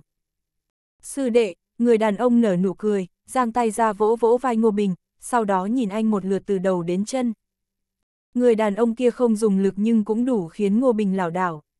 Ngô Bình cười khổ, sư huynh, anh là võ thần, đừng có vô em như vậy có được không?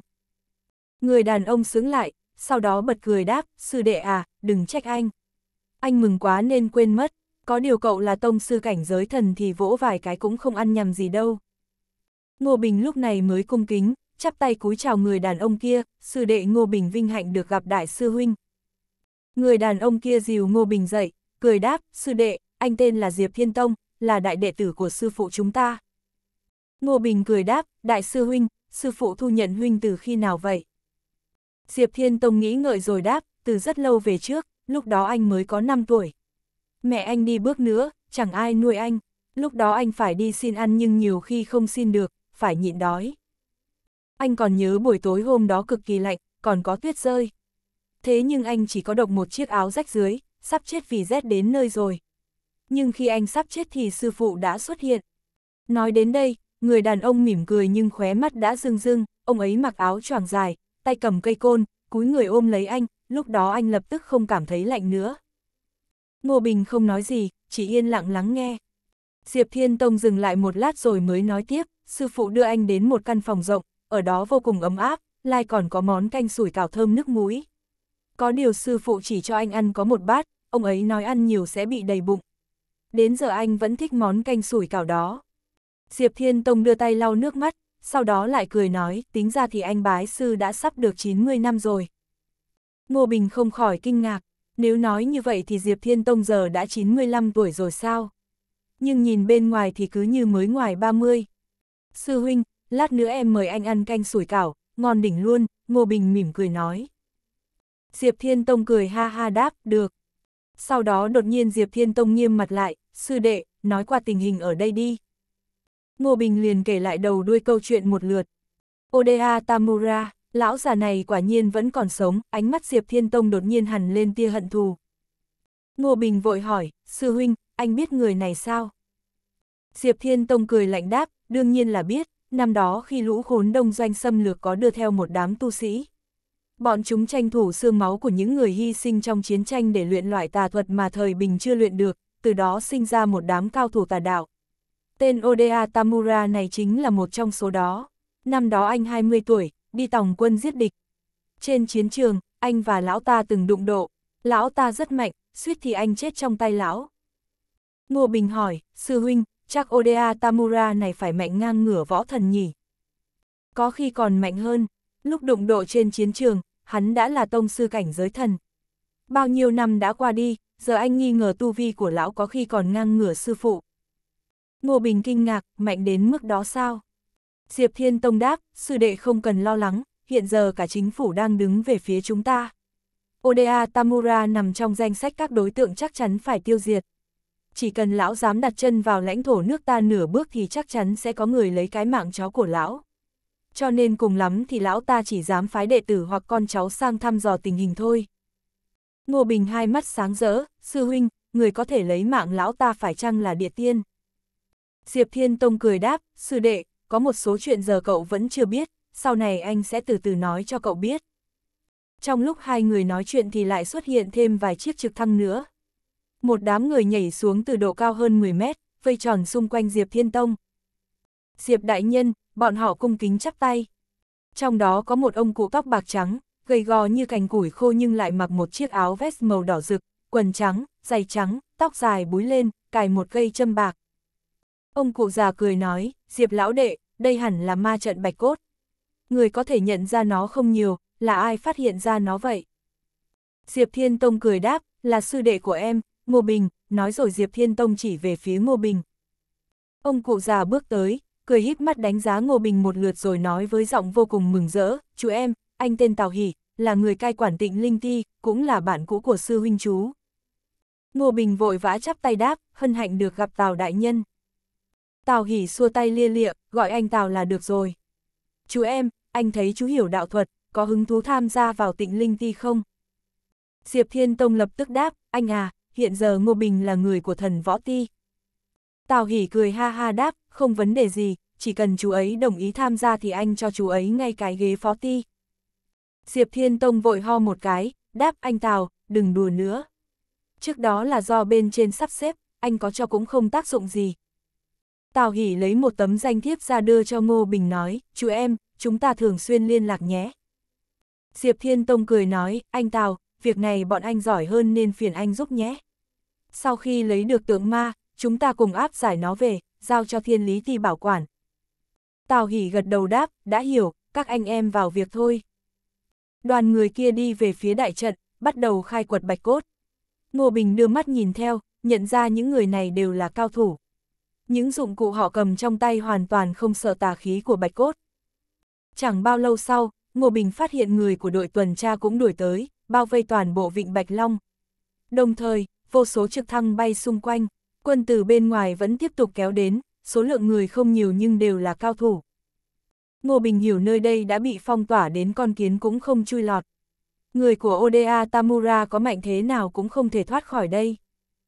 Diệp Thiên Tông rất bận rộn giao nhiệm vụ cho những người mới đến. Ngô Bình cảm thấy cũng không còn việc của mình nữa nên nói, sư huynh, em quay về trước. Có việc gì anh gọi em nhé. Diệp Thiên Tông cười đáp, sư đệ, đợi xong việc ở đây anh sẽ đi tìm cậu.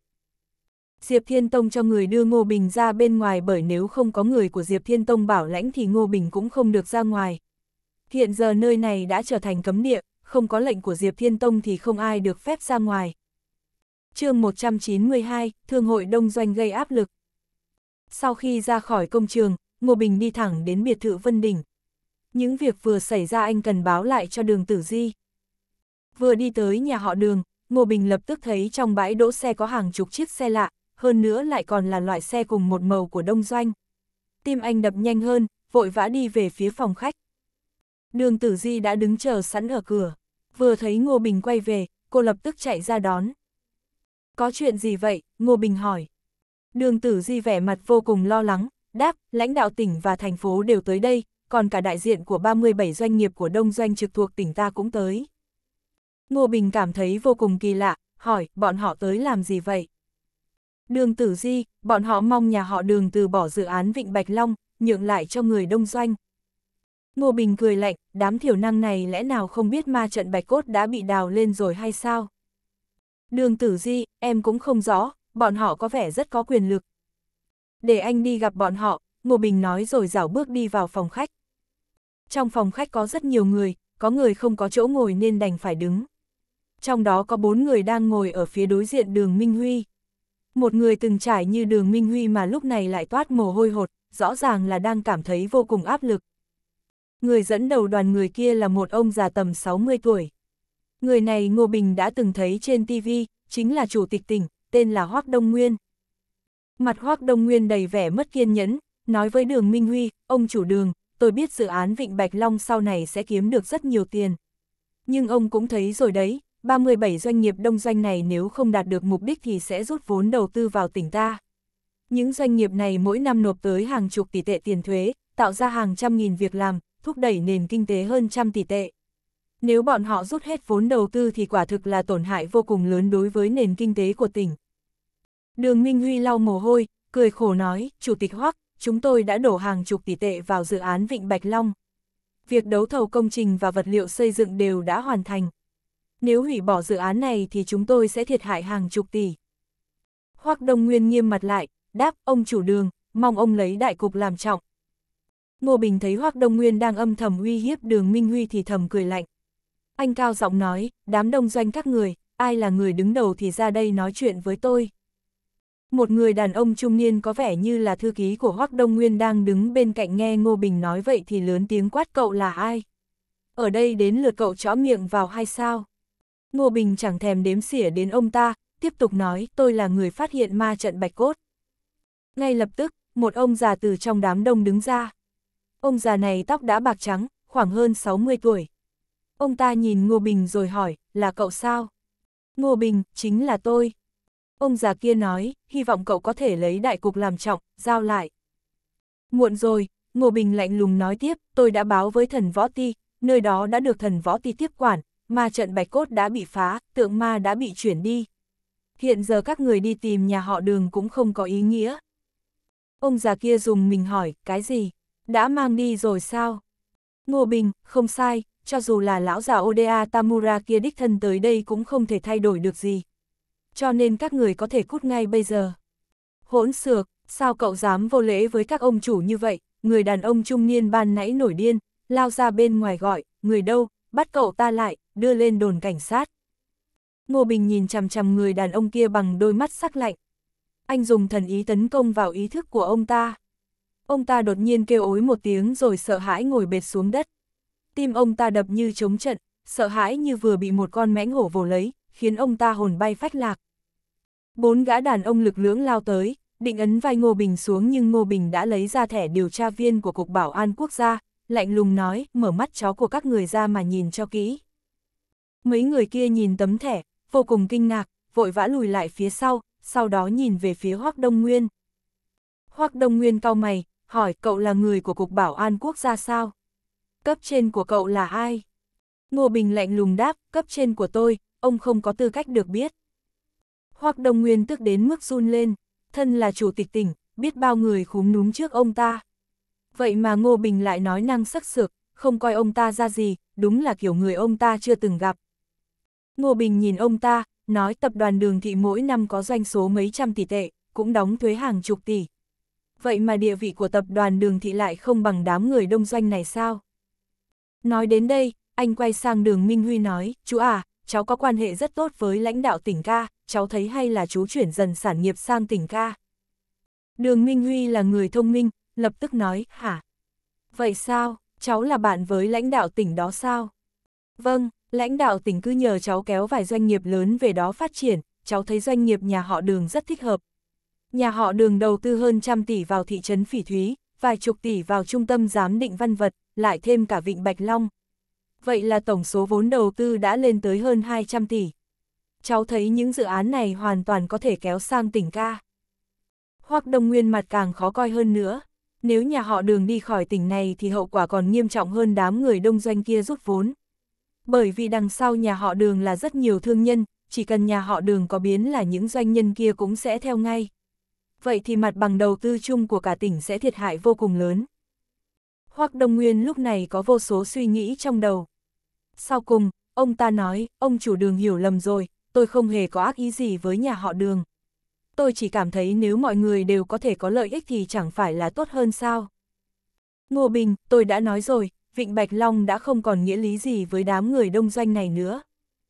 Ông già người đông doanh ban nãy khom lưng nói với Hoác Đông Nguyên, Chủ tịch Hoác, cậu ta nói không sai. Vịnh Bạch Long giờ đã không còn quan trọng với chúng tôi nữa. Chúng tôi xin cáo từ. Đám người này nói đi là đi ngay, chỉ trong nháy mắt đã không còn lại một ai. Phòng khách lúc này trở nên vô cùng trống trải. Hoác Đông Nguyên và thư ký ban nãy bốn mắt nhìn nhau. Hoác Đông Nguyên hỏi Ngô Bình, cậu có thể nói cho tôi biết rốt cuộc đã xảy ra chuyện gì không? Ngô Bình cười lạnh đáp, việc quốc gia cơ mật tôi không thể tiết lộ. Dừng lại một chút, anh nói, ngoài ra, nếu không phải tôi đến kịp lúc thì ông đã phạm phải tội phản bội tổ quốc. Hoác Đông Nguyên mặt biến sắc, cậu nói gì vậy? Ngô Bình, tôi chỉ có thể nói đến đây, không tiến. Hoác Đông Nguyên vẻ mặt vô cùng khó coi, sau đó buồn bực rời khỏi đó. Sau khi lên xe, ông ta gọi một cuộc điện thoại hỏi, đại nhân, tôi có chuyện này muốn nghe ngóng một chút. Sau đó, ông ta nhắc đến chuyện của Vịnh Bạch Long, đối phương lập tức trả lời, chú Hoác, đây là chuyện tuyệt mật quốc gia, xin thứ lỗi tôi không thể tiết lộ. Hoác Đông Nguyên chán nản cúp điện thoại, rốt cuộc là chuyện gì cơ chứ? Thư ký bên cạnh nói, ông chủ, cái tên Ngô Bình đó quá hống hách.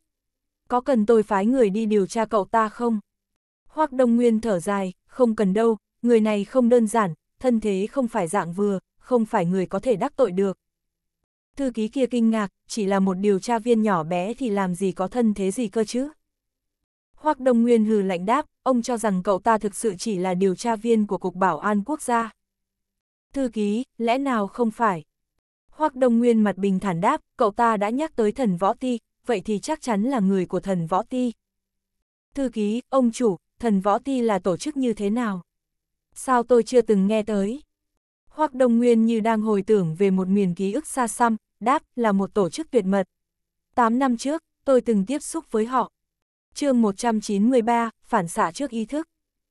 Thư ký kia vô cùng tò mò, hỏi tổ chức này là tổ chức như thế nào vậy? Ánh mắt Hoác Đông Nguyên có chút lay động, đáp lúc đó tôi còn làm thị trưởng ở Biên Nam. Ở một huyện nhỏ trực thuộc thành phố xảy ra một vụ án mạng nghiêm trọng, có tới 13 người bị giết. Trên tỉnh khi đó vô cùng quan tâm đến vụ án này. Tôi lúc đó dẫn đầu đội điều tra đến hiện trường quan sát. Đó là một ngôi làng nhỏ ở khá xa, xe ô tô không thể đi vào được, chỉ có thể đi bộ vào. Đi bộ hơn một tiếng mới tới cổng làng. Tôi vừa tới thì đã tha ý hai con quái thú lông lá, cao chừng 3 mét đang lao về phía một người thanh niên. Người thanh niên kia chỉ vươn tay chỉ về phía hai con quái thú một cái mà đầu của chúng lăn lông lốc trên mặt đất, máu tươi phun cao hàng mét. Sau đó người đó lại vẫy tay một cái, xác con quái thú bốc cháy, chỉ vỏn vẹn trong vài giây mà đã biến thành cho bụi. Người thanh niên sau đó đi về phía chúng tôi, anh ta hỏi tôi là ai. Tôi đáp tôi là thị trưởng, còn anh ta tự xưng là người của thần võ ti. Hai con quái thú ban nãy đã bị anh ta đánh chết, thế nhưng anh ta yêu cầu tôi phải giữ kín, không được để chuyện này truyền ra ngoài. Sau đó người thanh niên kia xuống núi. Có một điều rất kỳ lạ là anh ta đi không nhanh nhưng chỉ vỏn vẹn mấy giây là biến mất không tâm tích. Lúc đó tôi còn nghĩ mình gặp ma, đến tận khi tôi được điều tới Giang Nam rồi nghe ngóng được một vài chuyện về thần võ ti. Thư ký kia chăm chú nghe chuyện, hỏi tiếp, ông chủ, con quái thú cao 3 mét đó là con gì vậy? Trong ấn tượng của tôi thì hình như không có loài dã thú nào to lớn đến vậy. Hoắc Đông Nguyên lắc đầu, tôi cũng không rõ, chỉ biết nó vô cùng mạnh. Tôi cảm giác hổ hay sư tử đều không phải đối thủ của nó. Thế nhưng người thanh niên kia chỉ cần chỉ tay một cái là đầu và thân nó tách rời nhau. Thư ký kia suy nghĩ một lát rồi nói, tôi hiểu rồi, người thanh niên kia chắc chắn là người tu đạo. Hoắc Đông Nguyên, giờ đã hiểu tại sao tôi bảo ông đừng điều tra Ngô Bình rồi chứ.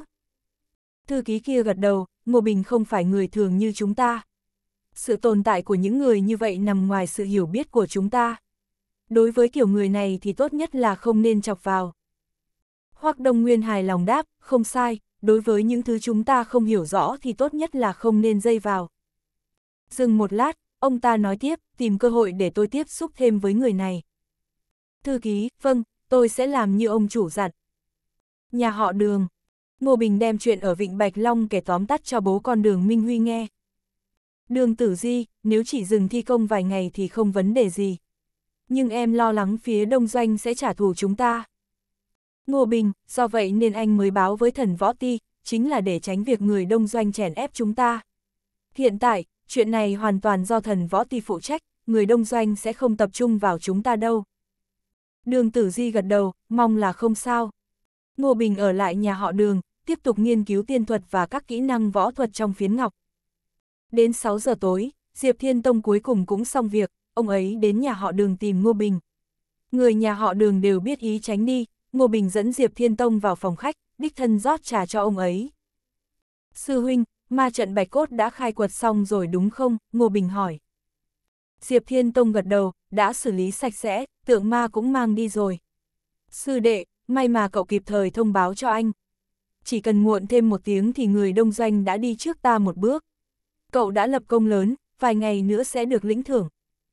Ngô Bình cười đáp, còn có phần thưởng sao? Đương nhiên rồi, công lao của cậu là công lao hạng nhất. Tiền thưởng cho công lao hạng nhất của thần võ ti rất lớn, anh sẽ đòi tiền thưởng đầy đủ cho cậu, Diệp Thiên Tông cười nói. Ngô Bình chắp tay, cảm ơn sư huynh. Diệp Thiên Tông rõ ràng rất bận rộn, ông ấy chỉ nói chuyện với Ngô Bình chưa tới 30 phút là đã từ biệt anh để lên trực thăng rời khỏi đó. Diệp Thiên Tông đi khỏi, đường tử di mới xuất hiện. Cô tò mò hỏi, người đó là ai vậy? Ngô Bình, là chủ nhân của thần võ ti, cũng là đại sư huynh của anh. Đường tử di kinh ngạc, có đại sư huynh như vậy thì sau này làm gì còn ai dám đắc tội với anh. Ngô Bình thản nhiên đáp, mọi việc đều phải dựa vào bản thân. Sau đó anh nói tiếp, ngày mai cho thi công tiếp đi, chuyện kia đã xử lý xong rồi. Đường tử di gật đầu, được, em lập tức đi sắp xếp. Buổi tối Ngô Bình không ăn cơm mà vẫn tập trung nghiên cứu phiến ngọc. Thứ ở trên phiến ngọc này và thứ trước đó anh được truyền thừa như sinh ra để bổ sung cho nhau nên anh muốn nắm được nội dung trên phiến ngọc này càng sớm càng tốt. Buổi sáng ngày hôm sau, Ngô Bình mới đi ra ngoài, tới chỗ công trường xem xét một lượt. Mọi việc ở đó vẫn diễn ra suôn sẻ, người đông doanh cũng không tới kiếm chuyện khiến anh cũng tạm yên tâm. Sau đó, anh quay lại biệt thự Thái Khang chuyên tâm tu luyện. Anh phải tu luyện thần ý đến mức hoàn hảo nhanh nhất có thể, sau đó mượn luyện thần đồ để tu luyện thần thức. Thần thức còn cao cấp hơn thần ý, là một đẳng cấp hoàn toàn khác. Thần ý có thể tách rời cơ thể, thăm dò sự vật trong một phạm vi nhất định. Thần thức thì có thể tấn công kẻ địch, thậm chí dễ dàng điều khiển tâm trí của người khác một cách vô cùng kỳ diệu. Chỉ có điều, thần ý của Ngô Bình mới được luyện thành, vẫn còn cách thần thức một quãng xa.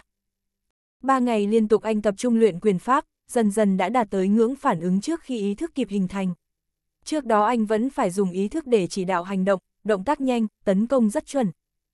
Thế nhưng giờ anh muốn vươn tới cảnh giới phản ứng trước cả khi ý thức kịp hình thành.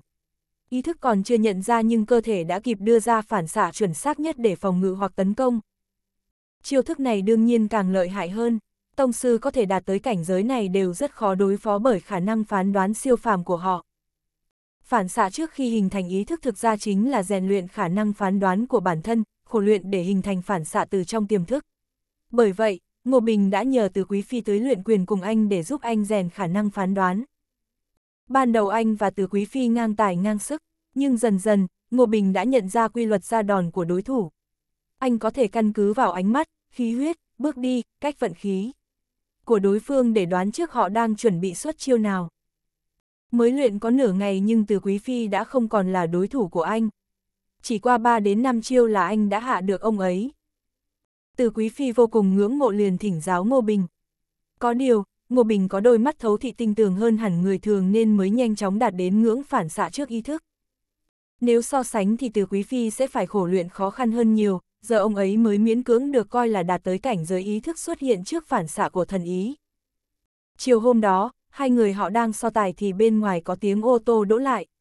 Đường tử di gõ cửa rồi bước vào, nói có một người phụ nữ đông doanh tên là Noda Nobunaga đến tìm em, nhờ chuyển lời rằng cô ta muốn gặp anh. Ngô Bình, ồ, là họ Oda sao, là con cháu của Oda Tamura ư. Đường tử di, rất có thể, anh có muốn gặp không? Ngô Bình nghĩ ngợi một lát rồi hỏi, cô ta có nói tìm anh có chuyện gì không? Đường tử di, không nói. Đúng rồi, cô ta chính là người điều hành tập đoàn Kyo 2. Tập đoàn Kyo 2 sở hữu khối tài sản hàng nghìn tỷ, bên dưới nó có rất nhiều công ty con. Lần này cô ta đến với tư cách nghiên cứu đầu tư, bên tỉnh đã cho người tới tiếp đón đặc biệt. chương 194, rắc rối trên phố Đông Doanh. Ngô Bình cười lạnh, sư huynh anh nói không sai, Oda Tamura căn bản không dám đặt chân lên lãnh thổ viêm long, cho nên chỉ có thể phái con cháu tới điều tra. Cô ta đến tìm anh chắc chắn là vì việc ở công trường. Từ Quý Phi vẫn chưa biết việc xảy ra ở công trường nên tò mò hỏi, chú em, ở công trường có việc gì sao? Ngô Bình, anh ba, là việc thần võ ti tra án, thứ lỗi cho em không thể tiết lộ. Từ Quý Phi gật đầu, anh hiểu rồi, thần võ ti tra án phải giữ bí mật tuyệt đối với bên ngoài. Nếu có việc gì anh có thể giúp thì chỉ cần nói một tiếng nhé. Ngô Bình nghe vậy liền đáp, anh ba, hay là lát anh đi gặp cô ta cùng em nhé. Từ Quý Phi hỏi, cuộc gặp gỡ này có gì thú vị sao? Ngô Bình gật đầu, đứng sau lưng Oda Nobunaga này là Oda Tamura. Hắn là một kẻ giết người luyện ma, năm xưa hắn xâm lược nước ta, hại chết hàng vạn người dân vô tội. Ánh mắt từ Quý Phi lập tức trở nên lạnh lẽo, hóa ra là vậy, vậy anh sẽ cùng đi với chú gặp hậu duệ của lão ta. Đường tử di, cô ta nói nếu có thể gặp mặt thì 7 giờ tối nay gặp nhau ở hội quán Hoa Anh Đào. Ngô Bình, địa chỉ của hội quán này ở đâu vậy? Đường Tử Di, là nơi mà người Đông Doanh hay lui tới tụ họp, nằm trên phố Đông Doanh. Nơi đó đa phần chỉ có người Đông Doanh, rất ít khi có người viêm long lui tới. Ngô Bình, em nhắn cô ta rằng anh sẽ tới đúng giờ. Đường Tử Di gật đầu, được, em sẽ đi thông báo ngay. Đường Tử Di gọi một cuộc điện thoại để thông báo chứ không rời đi ngay. Cô nhìn đồng hồ thấy đã tới giờ cơm liền gọi đầu bếp tới chuẩn bị vài món ăn cho Ngô Bình và Từ Quý Phi. Mấy ngày nay Từ Quý Phi đều ở đó bầu bạn với Ngô Bình. Có điều, ông ấy là người tinh ý nên thấy đường tử di không rời khỏi đó thì lập tức nói, anh đột nhiên nhớ ra có một chuyện cần giải quyết. Thế này đi, tối anh quay lại nhé. Chưa đợi Ngô Bình trả lời thì từ Quý Phi đã lặn mất hút. Đường tử di, anh ba đúng thật là, cơm canh đã sẵn sàng rồi mà không chịu ở lại dùng bữa. Ngô Bình trong lòng thầm than không phải tại em hay sao, nhưng anh đương nhiên không nói ra câu này. Buổi trưa, hai người họ ăn cơm xong thì đường tử di lấy ra một mớ giấy tờ bảo Ngô Bình ký vào. Anh ngó qua thì thấy đó là thỏa thuận góp vốn mua cổ phần của dự án thị trấn Phỉ Thúy. Theo thỏa thuận, Ngô Bình góp vốn 30 tỷ, đổi lại 40% cổ phần. Ngoài ra, 40% cổ phần nữa thuộc sở hữu của tập đoàn Đường Thị. 20% còn lại là của công ty cổ phần Quân Di. Mà công ty cổ phần Quân Di này hai bố con đường tử Di đang cùng đầu tư vào. Ngô Bình ký xong, cười nói, không lâu trước đây anh còn là một kẻ nghèo rất mùng tơi, bây giờ đột nhiên đã có hàng chục tỷ trong tay. Đường tử di cũng mỉm cười đáp, là do bản thân anh có năng lực. Người có năng lực thì tiền sẽ tự chảy vào túi. Sau đó, cô lại lấy ra một sấp hồ sơ, nói, đây là hợp đồng bổ nhiệm và bãi nhiệm thành viên hội đồng quản trị của tập đoàn Đường Thị. Dự án Vịnh Bạch Long và thị trấn Phỉ Thúy Anh đều có cổ phần, lại nắm một phần trăm cổ phần của tập đoàn nên gia nhập hội đồng quản trị là lẽ đương nhiên. Ngô Bình cười đáp, anh không đọc nữa đâu, em nói anh nghe xem vị trí này có đãi ngộ như thế nào đi. Đường Tử Di cười đáp, được rồi, thu nhập của thành viên ban giám đốc gồm hai bộ phận. Một bộ phận là tiền hoa hồng, cụ thể là bao nhiêu thì sẽ do hội đồng quản trị căn cứ vào cống hiến trong một năm trước đó của anh để quyết định. Một bộ phận nữa là lương và tiền thưởng, chắc chắn sẽ không ít hơn 10 triệu tệ, trong đó chủ yếu là tiền thưởng. Công việc thực ra cũng rất đơn giản, khi nào hội đồng quản trị họp thì tới. Những lúc khác thì không cần. Ngô Bình ha ha cười lớn, lương hàng năm của anh đã lên tới hàng chục triệu tệ rồi sao? Xem ra anh cũng lợi hại quá. Đường tử di cười, anh vốn vẫn lợi hại mà, có điều anh không biết đấy thôi. Anh nghĩ mà xem, thời gian này nếu không có anh giúp đỡ thì nhà họ đường đã gặp tai bay vạ gió rồi. Sau khi ký hợp đồng xong, Ngô Bình chính thức trở thành thành viên hội đồng quản trị tập đoàn Đường Thị, đồng thời đã có cổ phần trong dự án thị trấn Phỉ Thúy. Đối với thị trấn Phỉ Thúy, Ngô Bình cho rằng rất khả quan. Có Tiết Thái Hổ giúp sức thì thị trấn Phỉ Thúy sẽ trở thành nơi mua bán phỉ thúy lớn nhất toàn quốc, thậm chí là toàn thế giới. Đường Tử Di đưa cho anh một số tư liệu nghiên cứu thị trường, năm ngoái các giao dịch mua bán phỉ thúy online trong nước đã đạt giá trị hơn 150 tỷ. Các giao dịch trực tiếp thì giá trị lên tới hơn 600 tỷ, tổng cộng là hơn 750 tỷ. Có điều, trước mắt bất luận là giao dịch trực tiếp hay online, thị trường phỉ thúy đang vô cùng hỗn loạn, hàng giả hàng nhái tràn lan khiến người tiêu dùng bị thiệt hại nặng nề. Sau khi thị trấn phỉ thúy được thành lập sẽ đưa ra một bộ tiêu chuẩn giám định phỉ thúy. Bộ tiêu chuẩn này được phổ biến rộng rãi sẽ cung cấp kiến thức cho người tiêu dùng.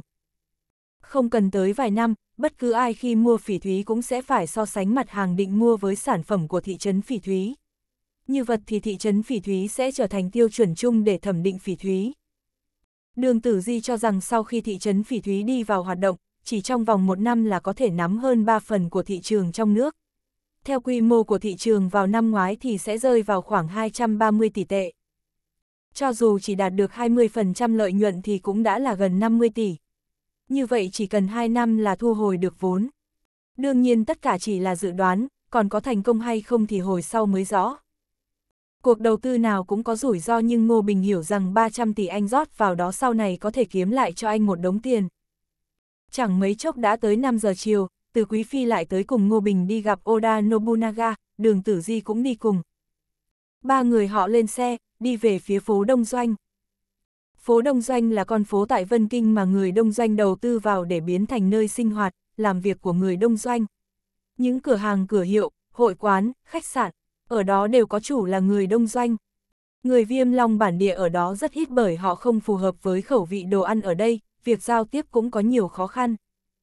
Trên dãy phố có hai hàng xe đang đỗ, xung quanh lại đầy giấy cửa hàng cửa hiệu nên giao thông đi lại khó khăn.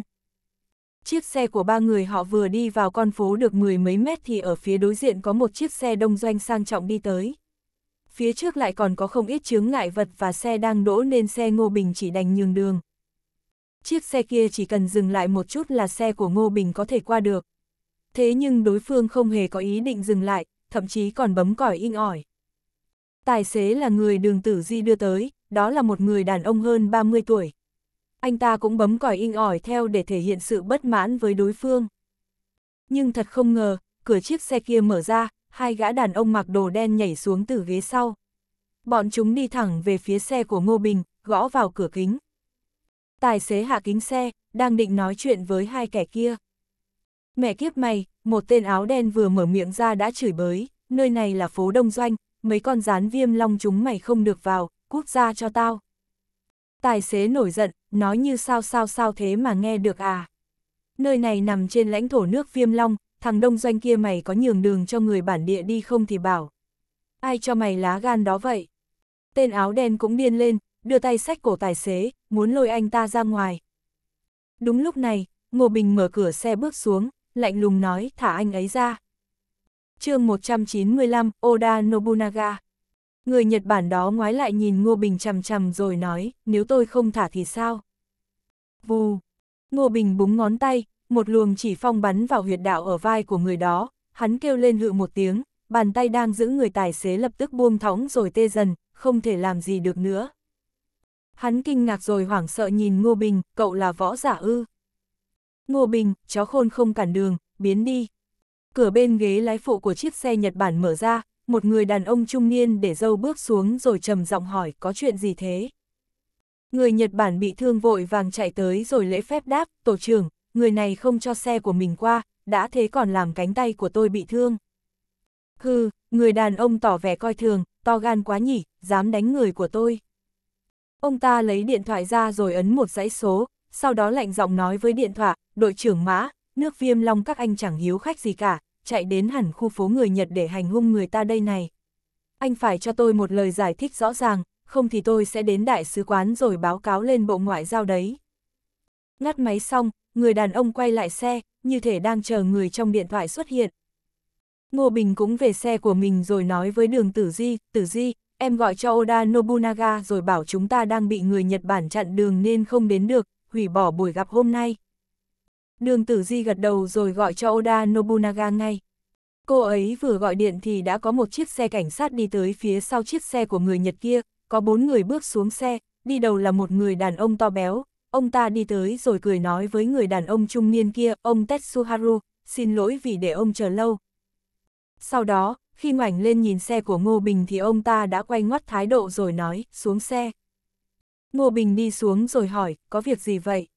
Ông béo quan sát Ngô Bình rồi hỏi, là cậu đánh người của ông Tetsuharu bị thương hả? Cậu tên là gì? Lấy chứng minh ra đây. Ngô Bình lấy chứng minh ra rồi nói, là họ ra tay trước, tốt nhất ông hãy làm rõ chân tướng sự việc. Chân tướng, ông béo cười lạnh nói, sự thật trình là cậu gây hấn trước, mau đi theo tôi về đồn. Người đàn ông Nhật Bản tỏ vẻ đắc ý rồi chỉ vào Ngô Bình, xếp mã, riêng với cái loại này thì phải phạt nặng vào. Ông béo cười nói, ông Tetsuharu cứ yên tâm, những thành phần cặn bã thế này thì dù là người trong nước, tôi cũng không nương tay đâu. Đường tử di không nghe nổi được nữa nên cũng xuống xe rồi lạnh giọng nói, nực cười. Ông chưa hỏi rõ trắng đen thế nào đã quy tội cho chúng tôi, ai cho ông cái quyền ấy hả? Ông béo liếc nhìn đường tử di, thấy cô ấy có khí chất cao quý, đã thế còn xinh đẹp và đi một chiếc xe rất đắt tiền thì lập tức có một dự cảm không lành. Ông ta ho khan một tiếng rồi nói, cô kia, tôi chỉ làm theo đúng luật thôi, là các cô ra tay đánh người trước còn gì. Ngô Bình, thế ư, ông có thể xem camera ở gần đây xem ai mới là bên ra tay trước. Ông béo sầm mặt nói, khỏi cần, tôi nhìn là biết cậu không phải người lương thiện gì rồi. Đi thôi, theo tôi về đồn. Đúng lúc này, người đàn ông Nhật Bản chợt nhận được một cuộc điện thoại, ông ta đứng bật dậy rồi liên tục nói hay. Ngắt máy xong, ông ta nhìn Ngô Bình bằng ánh mắt rất phức tạp, sau đó đi tới gần anh rồi cúi gập người xuống, xin lỗi cậu Ngô, ban nãy là chúng tôi sai, mong cậu bỏ qua cho. Ông béo ngẩn ra, chuyện gì thế này? Tetsuharu gọi ông ta đến để xử lý Ngô Bình, sao giờ lại xin lỗi anh? Lẽ nào người thanh niên này có bối cảnh gì sao? Chát! Ngô Bình tát một cái vào mặt ông ta rồi nói, đang ở nước viêm quốc mà ông dám hống hách thế à? Ai cho ông dũng khí vậy hả? Người đàn ông biến sắc mặt, trông có vẻ muốn nổi cáu, nhưng cuối cùng vẫn cố nhịn rồi nói, xin lỗi. Ngô Bình ngoảnh lại nhìn ông béo kia, giờ ông còn muốn dẫn tôi về đồn nữa không? Ông béo ho khù khụ rồi nói, nếu bên tố cáo cho qua rồi thì thôi. Thôi, Ngô Bình cười lạnh nói, tôi cho ông thời gian một ngày để về đồn khai báo hành vi của mình. Ông béo ngẩn ra rồi nổi giận nói, khai báo cái gì? Cậu tưởng mình là ai hả? Ngô Bình lấy chứng nhận của mình ra, tôi là Ngô Bình cục phó của cục điều tra, trường hợp của ông cần phải được điều tra rõ ràng.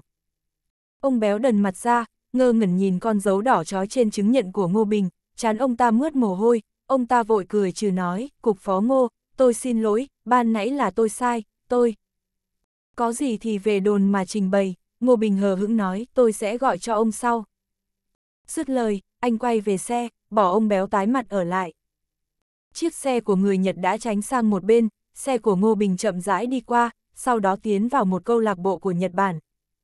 Họ vừa xuống xe, một cô gái trẻ mặc kimono đứng ngoài cửa đã mỉm cười nói, xin hỏi, là anh Ngô Bình phải không ạ? Ngô Bình gật đầu, đúng rồi. Cô gái nói, anh Ngô, cô chủ nhà chúng tôi đã chờ ở bên trong lâu rồi ạ, mời anh.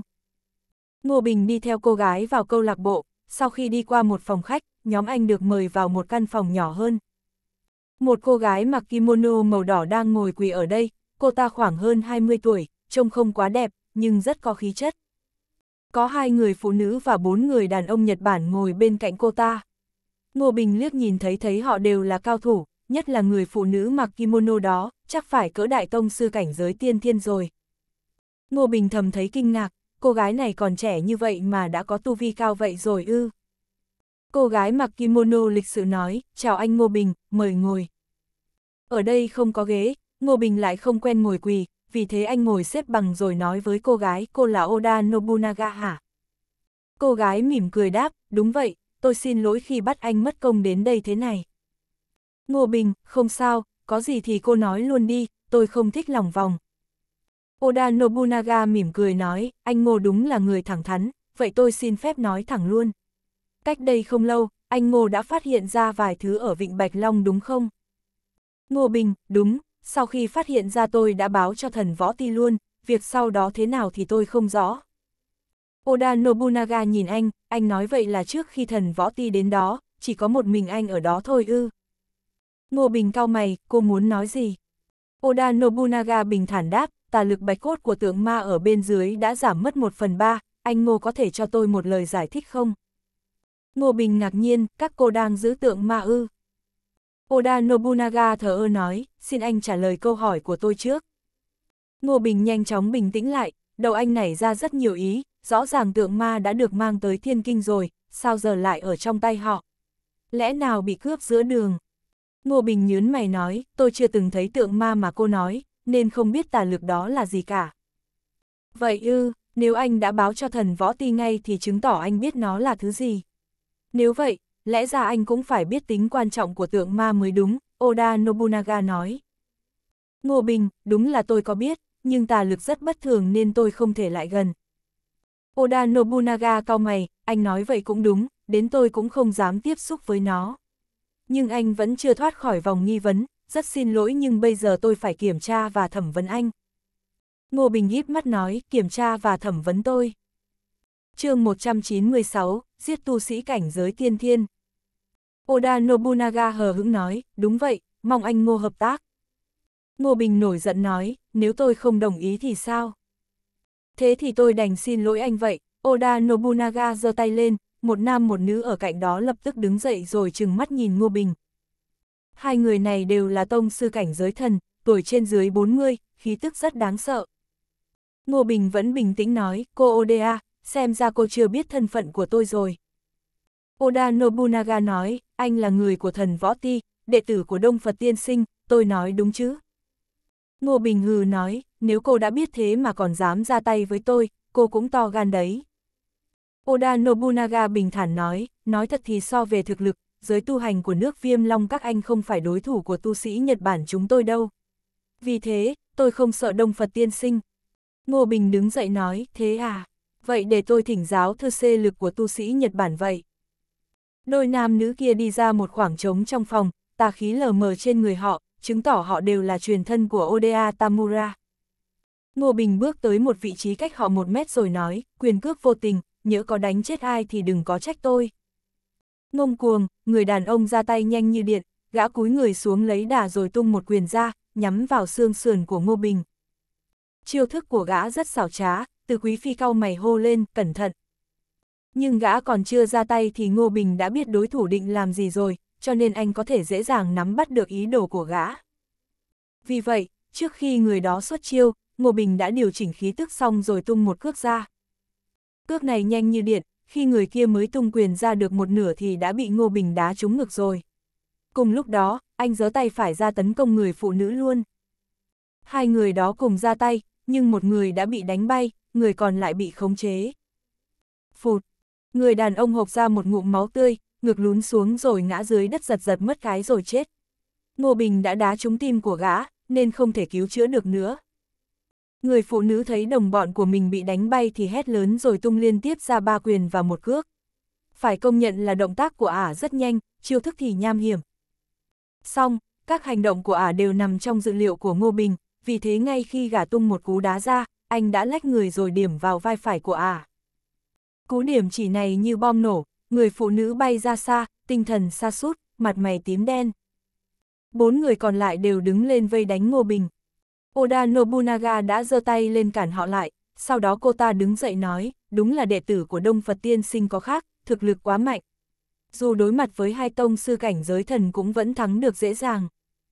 Ngô Bình nhìn cô ta rồi nói, Oda Nobunaga, tôi khuyên cô đừng ra tay với tôi, tôi không muốn giết phụ nữ.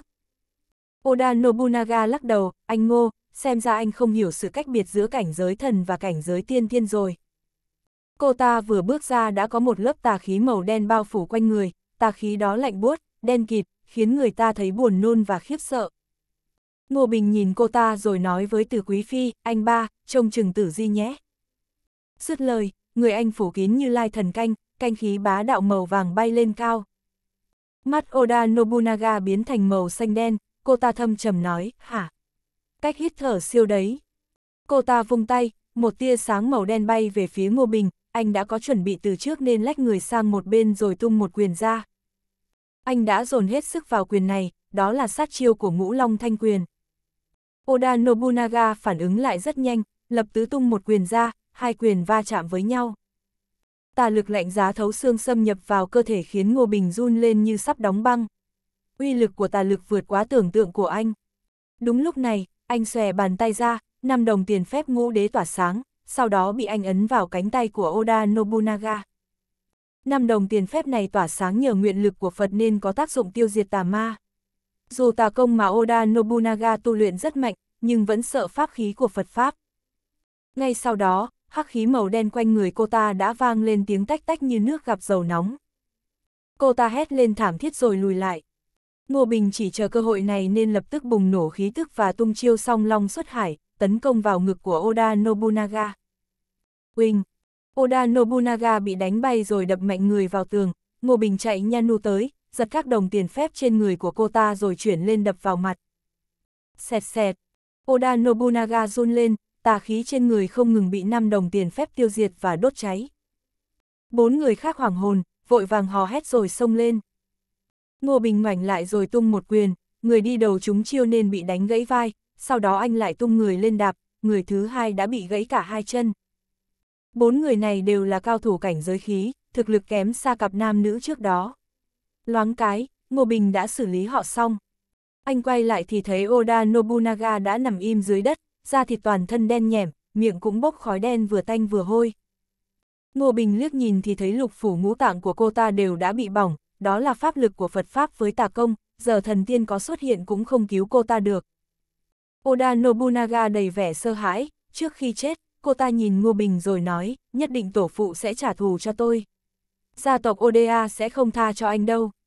Dứt lời, hai mắt cô ta cũng bốc khói đen, con người đốt cháy thành than. Một lát sau, mắt cô ta chỉ còn hai lỗ hổng, trông rất đáng sợ. Mấy người Nhật Bản đang bị thương nặng trông thấy thế thì hét lên, sau đó toàn nói tiếng Nhật rồi lấy dao ra tự cứ cổ. Vậy là cả năm người đều chết, vì Oda Nobunaga đã chết nên đám thuộc hạ sống cũng không còn ý nghĩa gì nữa. Hoặc có thể dù họ có sống sót trở về thì cũng bị nhà Oda giết. Ngô Bình mặc kệ họ, còn đi ép thì sợ hãi không dám nhìn, tới khi Ngô Bình đỡ cô ấy dậy, đi thôi. Sau khi họ rời khỏi câu lạc bộ, từ Quý Phi nói, chú gây chuyện rồi, kiểu gì nhà Oda cũng tới trả thù. Ngô Bình thờ ơ nói, không sao, ai đến em sẽ xử người đó. Em chỉ không hiểu sao tượng ma lại rơi vào tay người Nhật thôi. Từ Quý Phi, chuyện này phải có người nước mình giúp thì bên kia mới thành công được. Ngô Bình lập tức gọi cho Diệp Thiên Tông, hình như ông ấy đang rất giận dữ, nhưng vẫn cố kiềm chế rồi nhỏ nhẹ với Ngô Bình, sư đệ, có chuyện gì thế? Ngô Bình, sư huynh, em đã gặp Oda Nobunaga, cô ta là cháu gái của Oda Tamura. Diệp Thiên Tông, cái gì? Cô ta gặp cậu rồi ư? Có nói gì không? Chương 197, trao đổi lợi ích. Ngô Bình, cô ta bảo họ đang giữ tượng ma, nhưng rõ ràng tượng ma đang được bên anh bảo vệ nghiêm ngặt thì sao có thể ở trong tay nhà Oda được. Diệp Thiên Tông trầm mặc một lát mới nói, sư đệ, Oda Tamura chơi lớn, dùng sức mạnh của mình để thuyết phục chính phủ Nhật Bản. Họ đã nhượng lại một lợi ích lớn để Viêm Long đồng ý trả lại tượng ma, để đối lấy lợi ích ở phương diện khác. Ngô Bình cười lạnh nói, có lợi ích gì quan trọng hơn cản được một ác ma có thể giết cả trăm nghìn người dân vô tội chứ? Diệp Thiên Tông, sư đệ, không phải chuyện gì chúng ta cũng có thể quyết định được. À, anh nói cho chú biết luôn, chúng ta đổi tượng ma lấy một người bị Nhật giam giữ gần 100 năm. Ngô Bình ngạc nhiên, bị giam gần 100 năm ư. Diệp Thiên Tông, đó là một vị cường giả cảnh giới địa tiên, ông ấy bị Nhật Bản giam giữ bằng đại trận. Hiện giờ, ông ấy đã đến Thiên Kinh. Sư đệ, anh mong cậu cũng đến đó một chuyến. Ngô Bình, đến Thiên Kinh ạ. À. Diệp Thiên Tông, người đó đã chịu khổ cực trong tà trận cả trăm năm, sức sống sắp cạn, mộ bạch bảo cậu tinh thông y thuật nên anh muốn cậu tới khám cho ông ấy. Ngô Bình, nhưng mọi người có từng nghĩ một khi tượng ma rơi vào tay Oda Tamura thì ông ta có thể tấn công cả cường giả cảnh giới địa tiên không? Diệp Thiên Tông, sư đệ, nếu vị tiền bối ấy có thể khỏe lại thì thực lực của ông ấy hơn Oda Tamura nhiều. Ngô Bình, mạnh vậy ư? Đương nhiên, Diệp Thiên Tông nói, năm xưa, một mình ông ấy đã giết bốn cao thủ tà đạo của Nhật Bản, suýt nữa khiến khiến âm mưu xâm lược của nước này thất bại. Về sau, tại nước đó răng bẫy, chứ không thì vị tiền bối ấy đã xử lý hết các cao thủ tà đạo của Nhật rồi. Ngô Bình trầm mặc một lát, anh không ngờ thực lực của cảnh giới địa tiên lại khủng khiếp như thế. Một lát sau, anh nói, khi nào em đến thì phù hợp. Càng sớm càng tốt, Diệp Thiên Tông đáp. Ngô Bình, sư huynh, có chuyện này em muốn nói với anh, em đã giết Oda Nobunaga rồi. Diệp Thiên Tông ngẩn ra rồi cười ha hả, cậu giết cháu của Oda Tamura rồi à? Tốt, làm hay lắm, ha ha, chắc lão giả ấy sẽ tức điên lên cho mà xem. Ngô Bình cạn lời nói, sư huynh, em lo nhà Oda sẽ đến trả thù. Cậu là sư đệ của anh thì ai dám động đến nào? Cứ yên tâm, anh sẽ có sắp xếp, đời anh giết cả đống cao thủ của Nhật rồi mà có ai dám làm gì đâu. Nói đến đây, Diệp Thiên Tông chợt nói, à, Vân Kinh đang có một chuyện lớn đấy, cậu có biết không? Chuyện gì thế ạ? À? Song tiên của lĩnh Nam đã chết ở Vân Kinh, bảo bối trên người họ cũng không cánh mà bay. Hiện giờ, Vân Kinh đang loạn lắm, bao nhiêu cao thủ đến điều tra chuyện này. Thần võ thì bọn anh cũng rất quan tâm nên đã có người tới nghe ngóng rồi. Ngô Bình giật mình, sư huynh, bảo bối gì mà gây ra động tĩnh lớn vậy ạ? À? Diệp Thiên Tông, theo tin tình báo anh nhận được thì khi còn làm hộ pháp ở Hắc Thiên Giáo, song tiên đã hại chết giáo chủ và cướp một món bảo bối đi. Hình như nó có liên quan đến truyền thừa của thời tiền sử, nhưng cụ thể là gì thì anh không rõ. Ngô Bình biết bảo bối đó chính là ba phiến ngọc.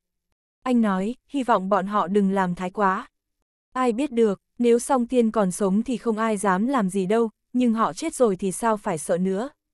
Chuyện này lạ lắm, hai cường giả cảnh giới võ thần mà chết hết mới hay. Ngô Bình nói, chắc gặp phải kẻ thù. Chắc thế, sư đệ, thế nhé, nhớ đến sớm. Ngắt máy xong, Ngô Bình nói với Từ Quý Phi, anh ba, anh có biết đang có nhiều người trong giang hồ đến Vân Kinh không? Từ Quý Phi gật đầu, có chứ, đến quân vô tướng và Cao Trường Phong còn xuất hiện nữa mà. Ngô Bình nhớn mày, không ngờ còn náo nhiệt hơn anh tưởng. Từ Quý Phi, nhưng tốt nhất không nên tham gia vào chuyện này làm gì, dù tìm được manh mối thì cũng chẳng còn mạng mà lần theo. Ngô Bình gật đầu, anh nói phải. Bọn họ quay về Sơn Trang Vân Đình, từ Quý Phi ngồi chơi một lát rồi về. Ngô Bình nhớ tới Dương Mộ Bạch nên chào đường Tử Di rồi về huyện Minh Dương. Trước lúc đi, anh còn chào Trần Lăng Sương, cô ấy cũng sắp về Thiên Kinh nên hẹn gặp lại anh ở đó. Ngô Bình về đến huyện Minh Dương thì đã gần sáng, mọi người đều đang say giấc, chỉ có Hoàng tử Cường có tính cảnh giác cao là xuất hiện ngay. Cậu chủ về rồi ạ, à, hắn ta chào hỏi. Ngô Bình gật đầu, tử cường, anh đi nghỉ đi. Hoàng tử cường vội nói, cậu chủ, ông Dương đã cử người đến, bảo khi nào cậu về thì phải báo với ông ấy ngay. Ngô Bình gật đầu, được, tôi biết rồi. Anh vào phòng khách rồi gọi cho Dương Mộ Bạch, ông ấy khàn giọng nói, sư đệ, cậu về rồi à? Ngô Bình, vâng, em đang ở huyện Minh Dương rồi. Dương Mộ Bạch, sư đệ, anh đang ở hang động, phiền cậu qua đây một lát được không, anh bị thương rồi. Ngô Bình kinh ngạc, anh bị thương có nặng không? Dương Mộ Bạch, không nặng lắm. Ngô Bình, được, em qua ngay. Một lát sau, đã có một chiếc xe đi tới chỗ của Ngô Bình. Dương Mộ Bạch đã cho người tới đón anh, Ngô Bình lên xe, tài xế đạp ga, chiếc xe lập tức phóng như bay.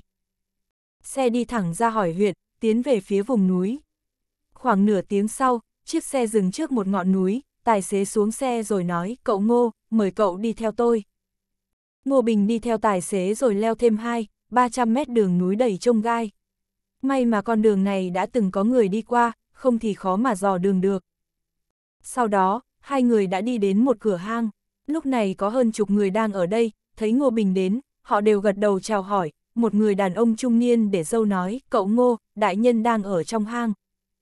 Ngô Bình gật đầu rồi cúi người đi vào, bên trong có một cầu thang đá hơn 100 bậc đi xuống dưới. Ngô Bình đi xuống thì vào một hang động khá rộng rãi. Hang đá này cao khoảng 7 mét, rộng hơn 30 mét chạy thẳng vào trong, hai bên được lắp các thiết bị chiếu sáng. Ngô Bình đi thêm 100 mét vào bên trong thì thấy Dương Mộ Bạch đang ngồi xếp bằng trên một tảng đá hình tròn, mặt ông ấy hơi tái, cánh tay trái đã bị thương nên đang băng bó. Sau lưng ông ấy là một bức tường bị phá bỏ, gió đang lùa vào.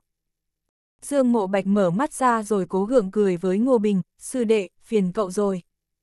Ngô Bình không nói gì, lập tức tiến tới bắt mạch cho Dương Mộ Bạch, sau đó nhìn xuyên thấu cơ thể ông ấy thì thấy có một luồng sức mạnh màu đen đang ăn mòn sức sống của ông ấy, nó tập trung chủ yếu ở vết thương trên cánh tay, có lẽ nó bắt đầu ăn mòn từ đó. Kiểm tra xong, Ngô Bình thở phào nói, vấn đề không lớn. Dương Mộ Bạch, mấy hôm nay, anh toàn mày mò trong này, không may bị một con rết khổng lồ cắn vào tay. Con rết ấy có độc, nhưng không sao, giam bảy hôm nữa là anh đẩy được hết chất độc ra thôi. Ngô Bình nói, không cần lâu vậy đâu, giờ em sẽ giải độc cho anh luôn, tiện thể chữa bệnh tim cho anh cả thể. chương 198, kho báu trong hang động. Dương Mộ Bạch ngạc nhiên hỏi, giờ chữa được luôn ư? Ngô Bình gật đầu, bệnh của sư huynh không thể để lâu thêm nữa. Nói rồi, anh truyền cho Dương Mộ Bạch một bộ tâm pháp khử độc. Ông ấy có công lực thâm hậu nên chút độc còn con này không là gì cả, có thêm bộ tâm pháp này thì chỉ một lát sau, chất độc đã được loại trừ hoàn toàn. Ngô Bình dùng kim đâm vào 10 đầu ngón tay của Dương Mộ Bạch, lập tức có 10 dòng máu đen ngòm chảy ra. Chờ khi máu đen chảy hết thì chất độc cũng được loại bỏ. Sau khi giải độc cho Dương Mộ Bạch xong, anh vận chuyển chân khí màu vàng để phục hồi chức năng tim cho Dương Mộ Bạch. Vừa làm, anh vừa khởi động khả năng nhìn xuyên thấu để nối các cơ tim cho ông ấy. Sau khi được nối, các sợi cơ này được chân khí màu vàng hỗ trợ nên rất nhanh thích ứng với cơ thể. Cứ thế, Ngô Bình chỉ mất 2 tiếng là xử lý xong các sợi cơ và chữa khỏi bệnh dị dạng tim cho Dương Mộ Bạch. Sau khi xong việc, chán anh mướt mồ hôi, sư huynh nghỉ ngơi đi, đừng vận công trong 3 ngày tới. Dương Mộ Bạch vội hỏi, sư đệ, cậu không sao chứ? Ngô Bình cười đáp, em không sao, hơi mệt chút thôi. Dương Mộ Bạch cảm nhận tình trạng của tim mình thì thấy chỗ bất thường đã không còn nữa, tim ông ấy đã hoàn toàn khỏe mạnh, điều này khiến ông ấy rất vui mừng. Dương Mộ Bạch vừa vui vừa kinh ngạc, sư đệ, y thuật của cậu quá thần kỳ. Ngô Bình liếc nhìn hang động này rồi hỏi, sư huynh, hang động này khai phá chưa? Dương Mộ Bạch thở dài, của tà môn đấy, bên ngoài lắm cơ quan lắm, để phá được nó anh cũng mệt hết hơi. Nhưng đến giờ vẫn chưa mở được hết. Ngô Bình cao mày, khó thế sao? Dương Mộ Bạch, càng là hang động cao cấp thì bầy binh bố trận ở ngoài càng nhiều, chuyện bình thường mà. Ngô Bình gật đầu, anh nghỉ ngơi đi, để em xem nào. Dương Mộ Bạch, ờ, khéo chú lại có cách cũng nên. Ngô Bình hỏi thêm Dương Mộ Bạch về chuyện của thần thiên giáo, ông ấy nói người của giáo phái này đã bị đuổi đi, các cao thủ bỏ mạng khá nhiều, giáo chủ cũng đã bị thương nặng. Nghe thấy thần thiên giáo bị tổn thất nặng nề, Ngô Bình nói, đáng đời. Giáo phái đó chẳng tốt đẹp gì. Dương Mộ Bạch, hạng tôm tép thôi mà, không đáng nhắc đến. Sư đệ, đại sư huynh bảo Oda Nobunaga đến tìm cậu rồi bị cậu giết rồi hả? Ngô Bình cười trừ, sư huynh biết rồi ư. Dương mộ bạch vỗ vai anh, không phải lo, có đại sư huynh và anh thì nhà ODA không dám làm gì cậu đâu. Hai người ngồi nghỉ tại chỗ chờ trời sáng, Ngô Bình đi theo Dương mộ bạch vào trong hang đá. Phía sau có một hang dài và hẹp, các cơ quan ở đây đều đã bị phá. Thần võ ti cũng phải trả giá nhiều cho nó. Hai người đi thêm hơn 100 mét nữa thì thấy một hang động khác, bên trên có khắc ký hiệu kỳ lạ. Ngô Bình vừa nhìn đã biết đó là ký hiệu của thời tiền sử. Anh giật mình nói, sư huynh, cửa hang này chưa mở được ạ. À? Dương mộ bạch thở dài, bọn anh dùng bom, máy khoan, chất hóa học mà vẫn không ăn thua. Ngô Bình khởi động khả năng nhìn xuyên thấu thì thấy cửa hang được làm bằng chất liệu rất đặc biệt nên cứ vô cùng, bảo sao Dương Mộ Bạch dùng đủ mọi cách vẫn phải bó tay với nó. Hơn nữa, cửa hang dày những 2 mét, nặng thì khỏi bàn, di rời nó sẽ rất khó. May mà anh phát hiện có một cái chốt ở phía sau, sau một hồi nghiên cứu, anh giơ tay ra ấn liên tục lên cửa hang, sau mỗi cú ấn của Ngô Bình, cửa hang lại lún thêm một ít. Sau 7 lần ấn, có một tiếng động vang lên, cửa hang hình tròn lăn đi, để lộ ra một lối đi. Dương mộ bạch cười phá lên, sư đệ, cậu giỏi thật đấy, còn hiểu cả ký tự cổ nữa. Biết vậy thì anh đã rủ cậu tham gia cùng rồi. Ông ấy kéo Ngô Bình đi vào bên trong. Sau cánh cửa là một cung điện rộng lớn, mặt đất được lát kim loại đa giác, trên đỉnh thì được nạm những loại đá phát sáng. Cung điện này rộng khoảng 3, 4 nghìn mét vuông, nhưng trống rỗng, không có gì cả. Dương mộ bạch trợn trừng mắt, nhìn hết bên này sang bên nọ rồi thở dài thườn thượt, sao lại giống tuếch thế này. Ngô Bình đã khởi động khả năng nhìn xuyên thấu rồi, anh quan sát nền nhà và trần thì thấy dưới sàn nhà có càn khôn. Ngô Bình bình thản hỏi, sư huynh, từng có hang động trống không nào trước đó chưa? Dương Mộ Bạch nói, thiếu gì, nhiều nơi bị những người phát hiện ra trước lấy đi. Xem ra vận may không đến với anh em mình rồi, cứ tưởng có thu hoạch gì chứ. Ngô Bình nhớn mày nói, sư huynh, mình được lấy đồ ở đây đi ạ. À? Dương Mộ Bạch ngoái lại nói với người của mình, ra ngoài hết đi. Vâng, đám người đó lập tức lui ra ngay. Khi họ đi rồi, Dương Mộ Bạch mới cười nói, đương nhiên là lấy được rồi, nếu là vật đáng giá thì mang về siêu tầm, những thứ bình thường thì nộp lên trên. Ngô Bình cười hỏi, những đồ thời tiền sử đều đáng giá ạ? À? Ừm, giá cao ngất luôn, dù chỉ là một cái bình, hay cái bát thôi cũng toàn giá trên trời cả. Nhà anh cất cũng nhiều phết, khi nào qua đi, anh cho cậu xem, Dương Mộ Bạch nói. Ngô Bình chớp mắt, xem ra có người chuyên thu mua những món đồ này, không thì giá đã chẳng cao đến vậy. Ừ, khảo cổ cũng là một ngành học mà, nhưng người nghiên cứu thì toàn các nhân vật không tầm thường chút nào, vì thế không mấy ai biết đến, Dương Mộ Bạch nói, còn cả các buổi đấu giá nữa, nếu có cơ hội, anh sẽ dẫn cậu đi xem. Ngô Bình nhìn trái ngó phải rồi nói, sư huynh, ở đây có cơ quan, để em thử mở nhé. Dương Mộ Bạch sáng mắt lên, được không? Ngô Bình gật đầu, thử là biết ngay. Dương Mộ Bạch chớp mắt nói, đừng mở hết, giữ lại đồ tốt cho mình, đồ bình thường mới mang đi nộp. Ngô Bình cười nói, thế được không ạ? Dương Mộ Bạch, mình bảo được là được, mau lên. Ngô Bình đi tới trước một khối kim loại rồi dẫm mạnh xuống, mấy viên gạch lát sàn ở bên cạnh nhô lên cao 2 mét, đó là một cái cột, bên trong có ba ô vuông, ô nào cũng có vài món đồ. Dương Mộ Bạch sáng mắt lên, lấy chiếc vòng kim loại ở ô đầu tiên ra, bên trên có khắc các ký hiệu đặc biệt, đeo vào tay thì rất nặng. Trong ô thứ hai có một cái bình ngọc, Ngô Bình nhìn thì thấy có một viên đan dược ở trong. Ô thứ ba có một thanh đoạn kiếm dài nửa mét, vỏ kiếm màu đen. Dương Mộ Bạch cất chiếc bình ấy đi rồi nói khẽ, sư đệ, cất chiếc bình này đi nhé. Ngô Bình đồng ý luôn. Anh lại đi tới một vị trí khác rồi dẫm tiếp, cột thứ hai nhô lên, bên trong cũng có hai ô vuông, trong đó có một cái khay gần như trong suốt, phía trên khắc các hoa văn rất đẹp. Trong ô vuông khác có một cái ô tự chế dài hơn một mét, Dương Mộ Bạch mở chiếc ô ra thì thấy cũng có các ký tự kỳ quặc, hơn nữa còn phát sáng, rìa ô rất sắc, như có thể dùng làm vũ khí. Được đấy, vừa làm vũ khí, vừa diệt tà ma được, Dương Mộ Bạch nói cất luôn. Ngô Bình biết Dương Mộ Bạch thích chiếc ô này nên hạ cột đó xuống ngay. Còn nữa không, Dương Mộ Bạch hỏi. Ngô Bình gật đầu rồi đi sang chỗ khác, sau cú giấm của anh, có một giá sách nhô lên, bên trên bảy kín sách. Chữ viết trong đó rất nhỏ, lại nhiều, nhìn muốn hoa mắt. Dương Mộ Bạch cười nói, tốt, những cuốn sách này rất có giá trị đấy. Ngô Bình đi tới vị trí cuối cùng rồi dậm chân, một chiếc giường ngọc nhô lên, bên trên có bình ngọc, bát ngọc và một bàn cờ chương 199, đến Thiên Kinh. Trên bàn cờ có những quân cờ màu đen trắng, nhìn cách bày thì khá giống chơi cờ vây. Dương Mộ Bạch cười nói, ấm trà này được đấy. Ông ấy giơ tay định cầm lấy thì bị Ngô Bình cản lại, sư huynh, đừng động vào nó. Dương Mộ Bạch lập tức cảm thấy có điểm, sư đệ, có gì không ổn à? Ngô Bình cầm một quân cờ màu trắng lên rồi đặt vào một vị trí khác, lập tức có một tiếng động vang lên, bàn cờ tách đôi rồi lộ ra một cái hũ to bằng bàn tay ở dưới, cái hũ này có nắp, nhưng Ngô Bình vẫn có thể nhìn thấy những viên đá gần như trong suốt đang tỏa ra sức mạnh kỳ lạ ở bên trong. Anh bê cái hũ lên bằng hai tay, sau đó đặt vào lòng rồi ấn một cái vào bàn cờ, nó nhanh chóng khép lại như cũ. Dương mộ bạch dựng ngón tay cái, cậu đúng là đại sư giải trận. Ngô Bình cười nói, sư huynh, anh cho bọn họ vào đi. Dương mộ bạch gật đầu rồi gọi người vào, để họ xử lý chỗ này và chụp ảnh, còn ông ấy thì kéo Ngô Bình ra ngoài. Ông ấy nói, sư đệ, chúng ta chia nhau mỗi người một nửa, cậu chọn trước đi. Ngô Bình nói, hình như sư phụ thích chiếc ô kia, thật ra chiếc khay ngọc quý hơn vì có trận pháp, dùng nó thì sẽ bày bố được trận pháp lợi hại lắm. Dương mộ bạch sáng mắt lên, thật ư, thế anh không khách sáo nữa nhé, anh lấy chiếc ô và khay ngọc, còn lại thì cho cậu tất. Ngô Bình, vâng. Ngô Bình lấy đan dược, cái bình, rõ ràng đồ bên trong cũng không tầm thường. Chờ người bên trong chụp ảnh xong, Ngô Bình và Dương Mộ Bạch lại đi vào rồi lấy chiếc ô và khay ngọc đi, còn lại thì giao nộp lên trên.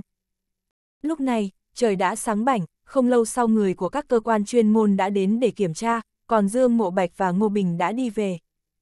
Sư đệ, sáng nay anh phải về Thiên Kinh rồi, nghe đại sư huynh bảo cậu cũng định đi Thiên Kinh hả? Dương Mộ Bạch hỏi. Vâng, sư huynh, nếu tiện thì cho em đi nhờ nhé. Được, 9 giờ sáng cất cánh, anh sẽ cho người đi đón cậu.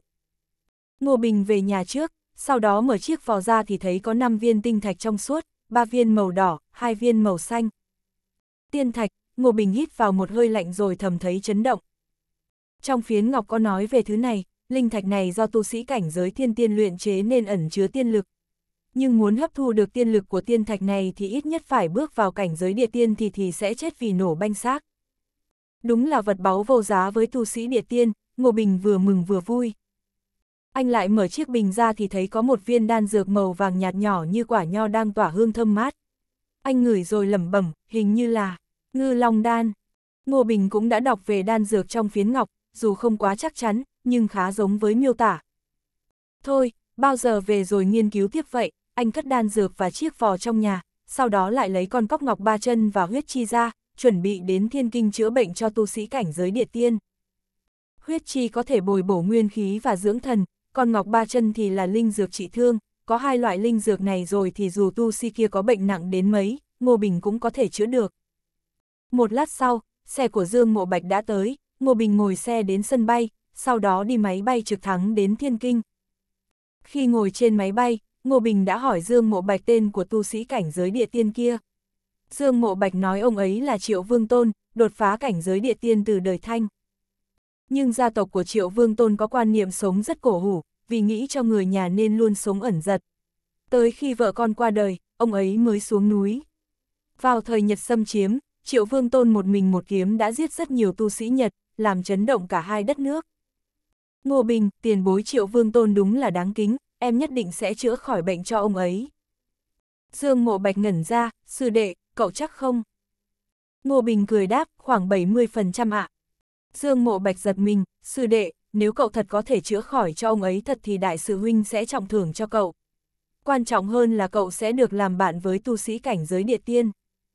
Ngô Bình, sư huynh, như vậy chứng tỏ có nhiều người đến chữa bệnh cho ông ấy lắm đúng không? Ừ, Dương Mộ Bạch gật đầu, các bác sĩ hàng đầu cả nước đều đến, cho nên chưa biết có đến lượt chúng ta hay không đây.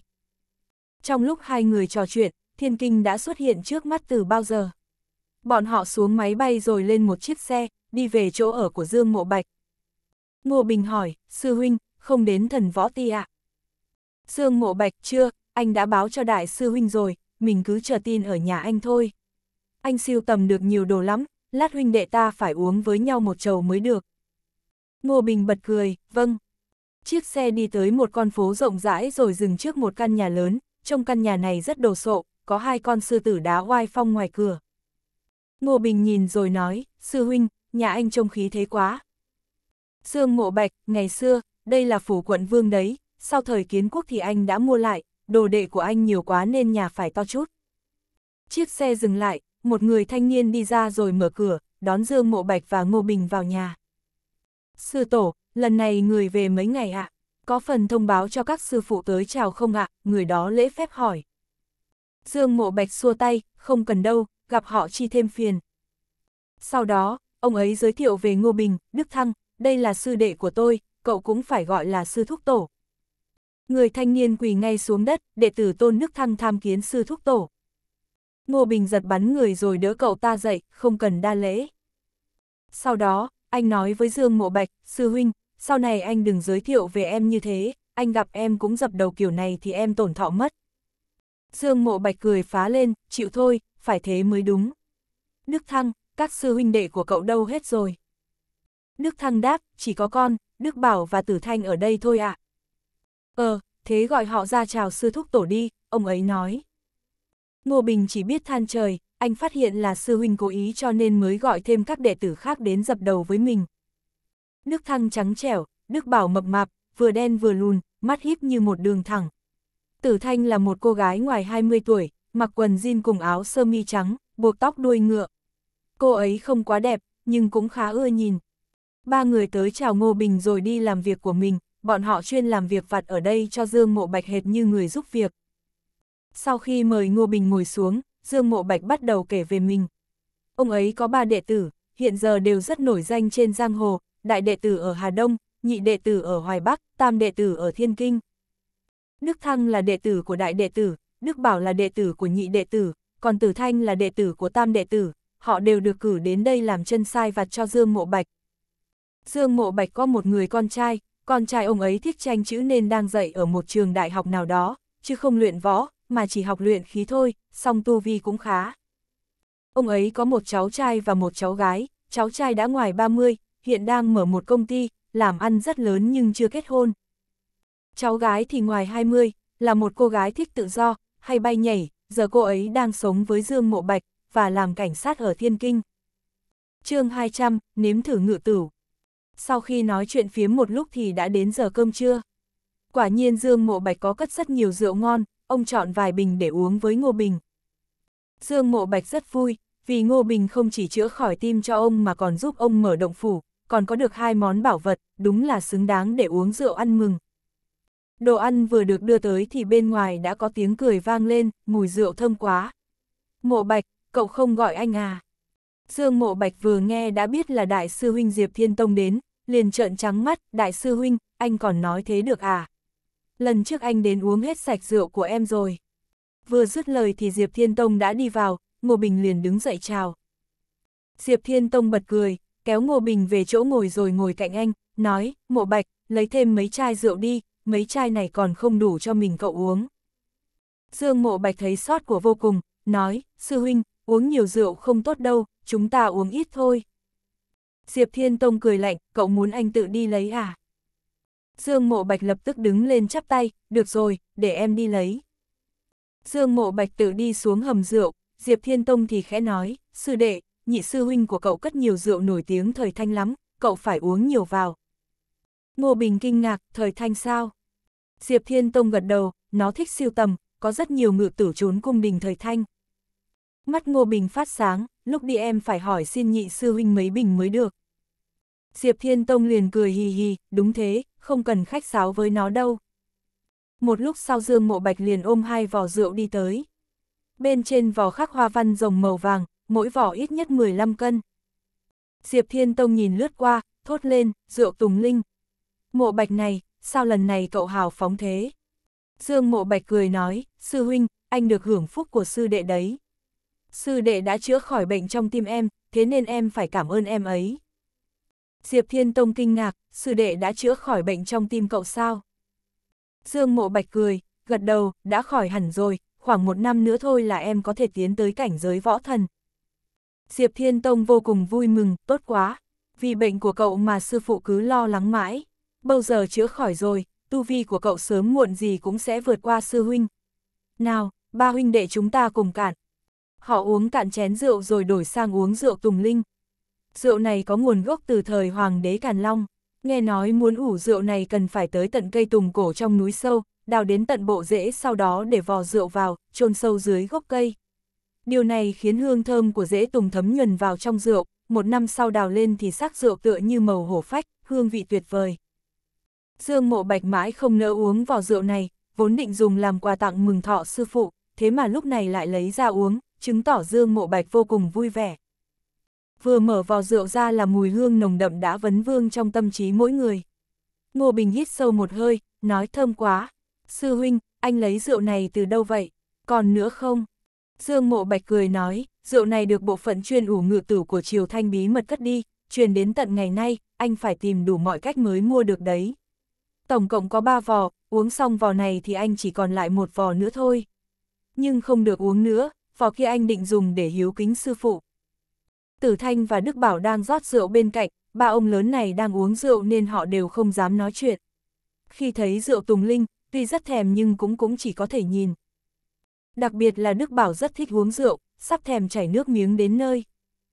Ngô Bình uống một chén rượu, thấy hương vị vô cùng đặc biệt, mùi hương triền miên, không khỏi khen ngợi, rượu ngon. Sư huynh, chúng ta uống một nửa thôi, để lại nửa còn lại lần sau uống. Diệp Thiên Tông cười lớn, sư đệ, em không cần phải tiết kiệm rượu cho mộ bạch, cứ uống thoải mái. Ngô Bình chú ý thấy Đức Bảo đang thèm rượu, liền nói cậu đi lấy thêm hai cái chén tới đây. Đức Bảo vội vàng chạy đi lấy hai chén rượu khắc hoa văn rồng thời minh. Ngô Bình rót rượu cho cậu ấy rồi nói, tôi thấy cậu thèm lắm rồi, chén này cho cậu. Tử Thanh, cô cũng nếm thử xem. Đức Bảo giật mình, cậu ấy không ngờ Ngô Bình lại rót rượu cho mình, cậu ấy vội phất tay, không không, sư thúc tổ, rượu này quá quý giá, có tiền cũng không mua nổi, con uống vào lãng phí lắm. Dương Mộ Bạch nói, sư thúc đã cho con thì con cứ uống đi, nói linh tinh làm gì. Đức Bảo liền gãi đầu, vậy, vậy con uống. Cậu ấy cúi đầu với Ngô Bình rồi đưa hai tay cầm lấy chén rượu, một hơi uống cạn, vẻ mặt vô cùng hưởng thụ. Tử Thanh nở nụ cười, cũng cúi người trước Ngô Bình rồi uống cạn rượu. Ba người chẳng mấy chốc đã uống hết một vò rượu mà vẫn chưa tận hứng. Dương Mộ Bạch mở một vò rượu Ngọc Tuyền. Rượu Ngọc Tuyền là rượu nổi tiếng của cung đình Triều Thanh, người dân bình thường không được uống, thường chỉ cung cấp cho hoàng tộc. Đây là lần đầu tiên Ngô Bình uống rượu với hai sư huynh, anh uống vô cùng tận hứng, uống đến tận trời tối đen. Trong lúc đó anh nghe họ kể về những chuyện thú vị trên giang hồ, tin tức ly kỳ trong chốn võ lâm, điều này khiến anh được mở mang rất nhiều điều. Đồng thời Dương Mộ Bạch và Diệp Thiên Tông cũng kinh ngạc trước sự uyên bác của Ngô Bình. Y thuật, bói toán, nhìn sao, xem tướng, trận pháp hay bùa chú Ngô Bình đều biết đôi chút. Mà lúc nói đến tu vi, một số quan điểm của Ngô Bình cũng gợi mở rất nhiều cho hai người, khiến họ có cảm giác tỉnh ngộ. Đức Bảo và Tử Thanh còn kinh hãi hơn, vì họ khái hiện những điều Ngô Bình nói quá cao siêu, đến bây giờ họ vẫn chưa hoàn toàn hiểu được. Họ không khỏi thầm nghĩ, thảo nào sư tổ lại nhận người đồ đệ này dù đã tuổi xế chiều, đúng là hạc trong bầy gà, nhân tài kiệt xuất. Đến buổi tối, Diệp Thiên Tông nhận được một cuộc gọi, ông ấy nói với Ngô Bình, sư đệ, bên phía tiền bối triệu có một phi vụ, hay là cậu đi xem thử. Ông ấy không mong chờ Ngô Bình có thể chữa khỏi cho triệu vương tôn, nhưng nếu có thể lộ mặt cũng khá tốt, ít nhất phần nào có thể khiến tiền bối triệu biết đến. Ngô Bình nói với giọng tò mò, sư huynh, sao lại phải đi buổi tối? Diệp Thiên Tông cười khổ, sư đệ không biết đấy thôi, ban ngày chỗ đó đầy một đám thầy thuốc nổi tiếng, anh muốn gặp tiền bối cũng khó nữa là. Lúc này thì đám người đó đều đi hết rồi. Vừa hay tiền bối triệu bảo anh qua đó một chuyến, nhân dịp này anh đưa cậu đi luôn.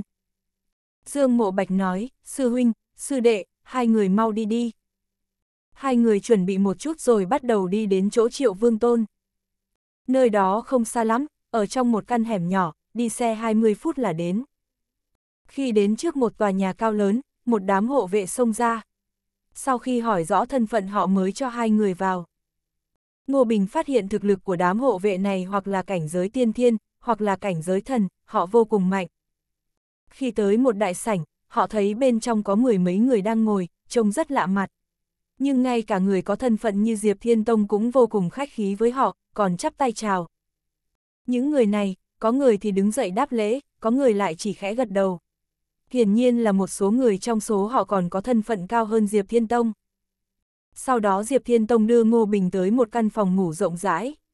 Trong phòng ngủ có một cái giường gỗ cổ xưa, một người đàn ông đang ngồi xếp bằng trên đó. Mặt người đó đầy khí đen, hơi thở lúc có lúc không.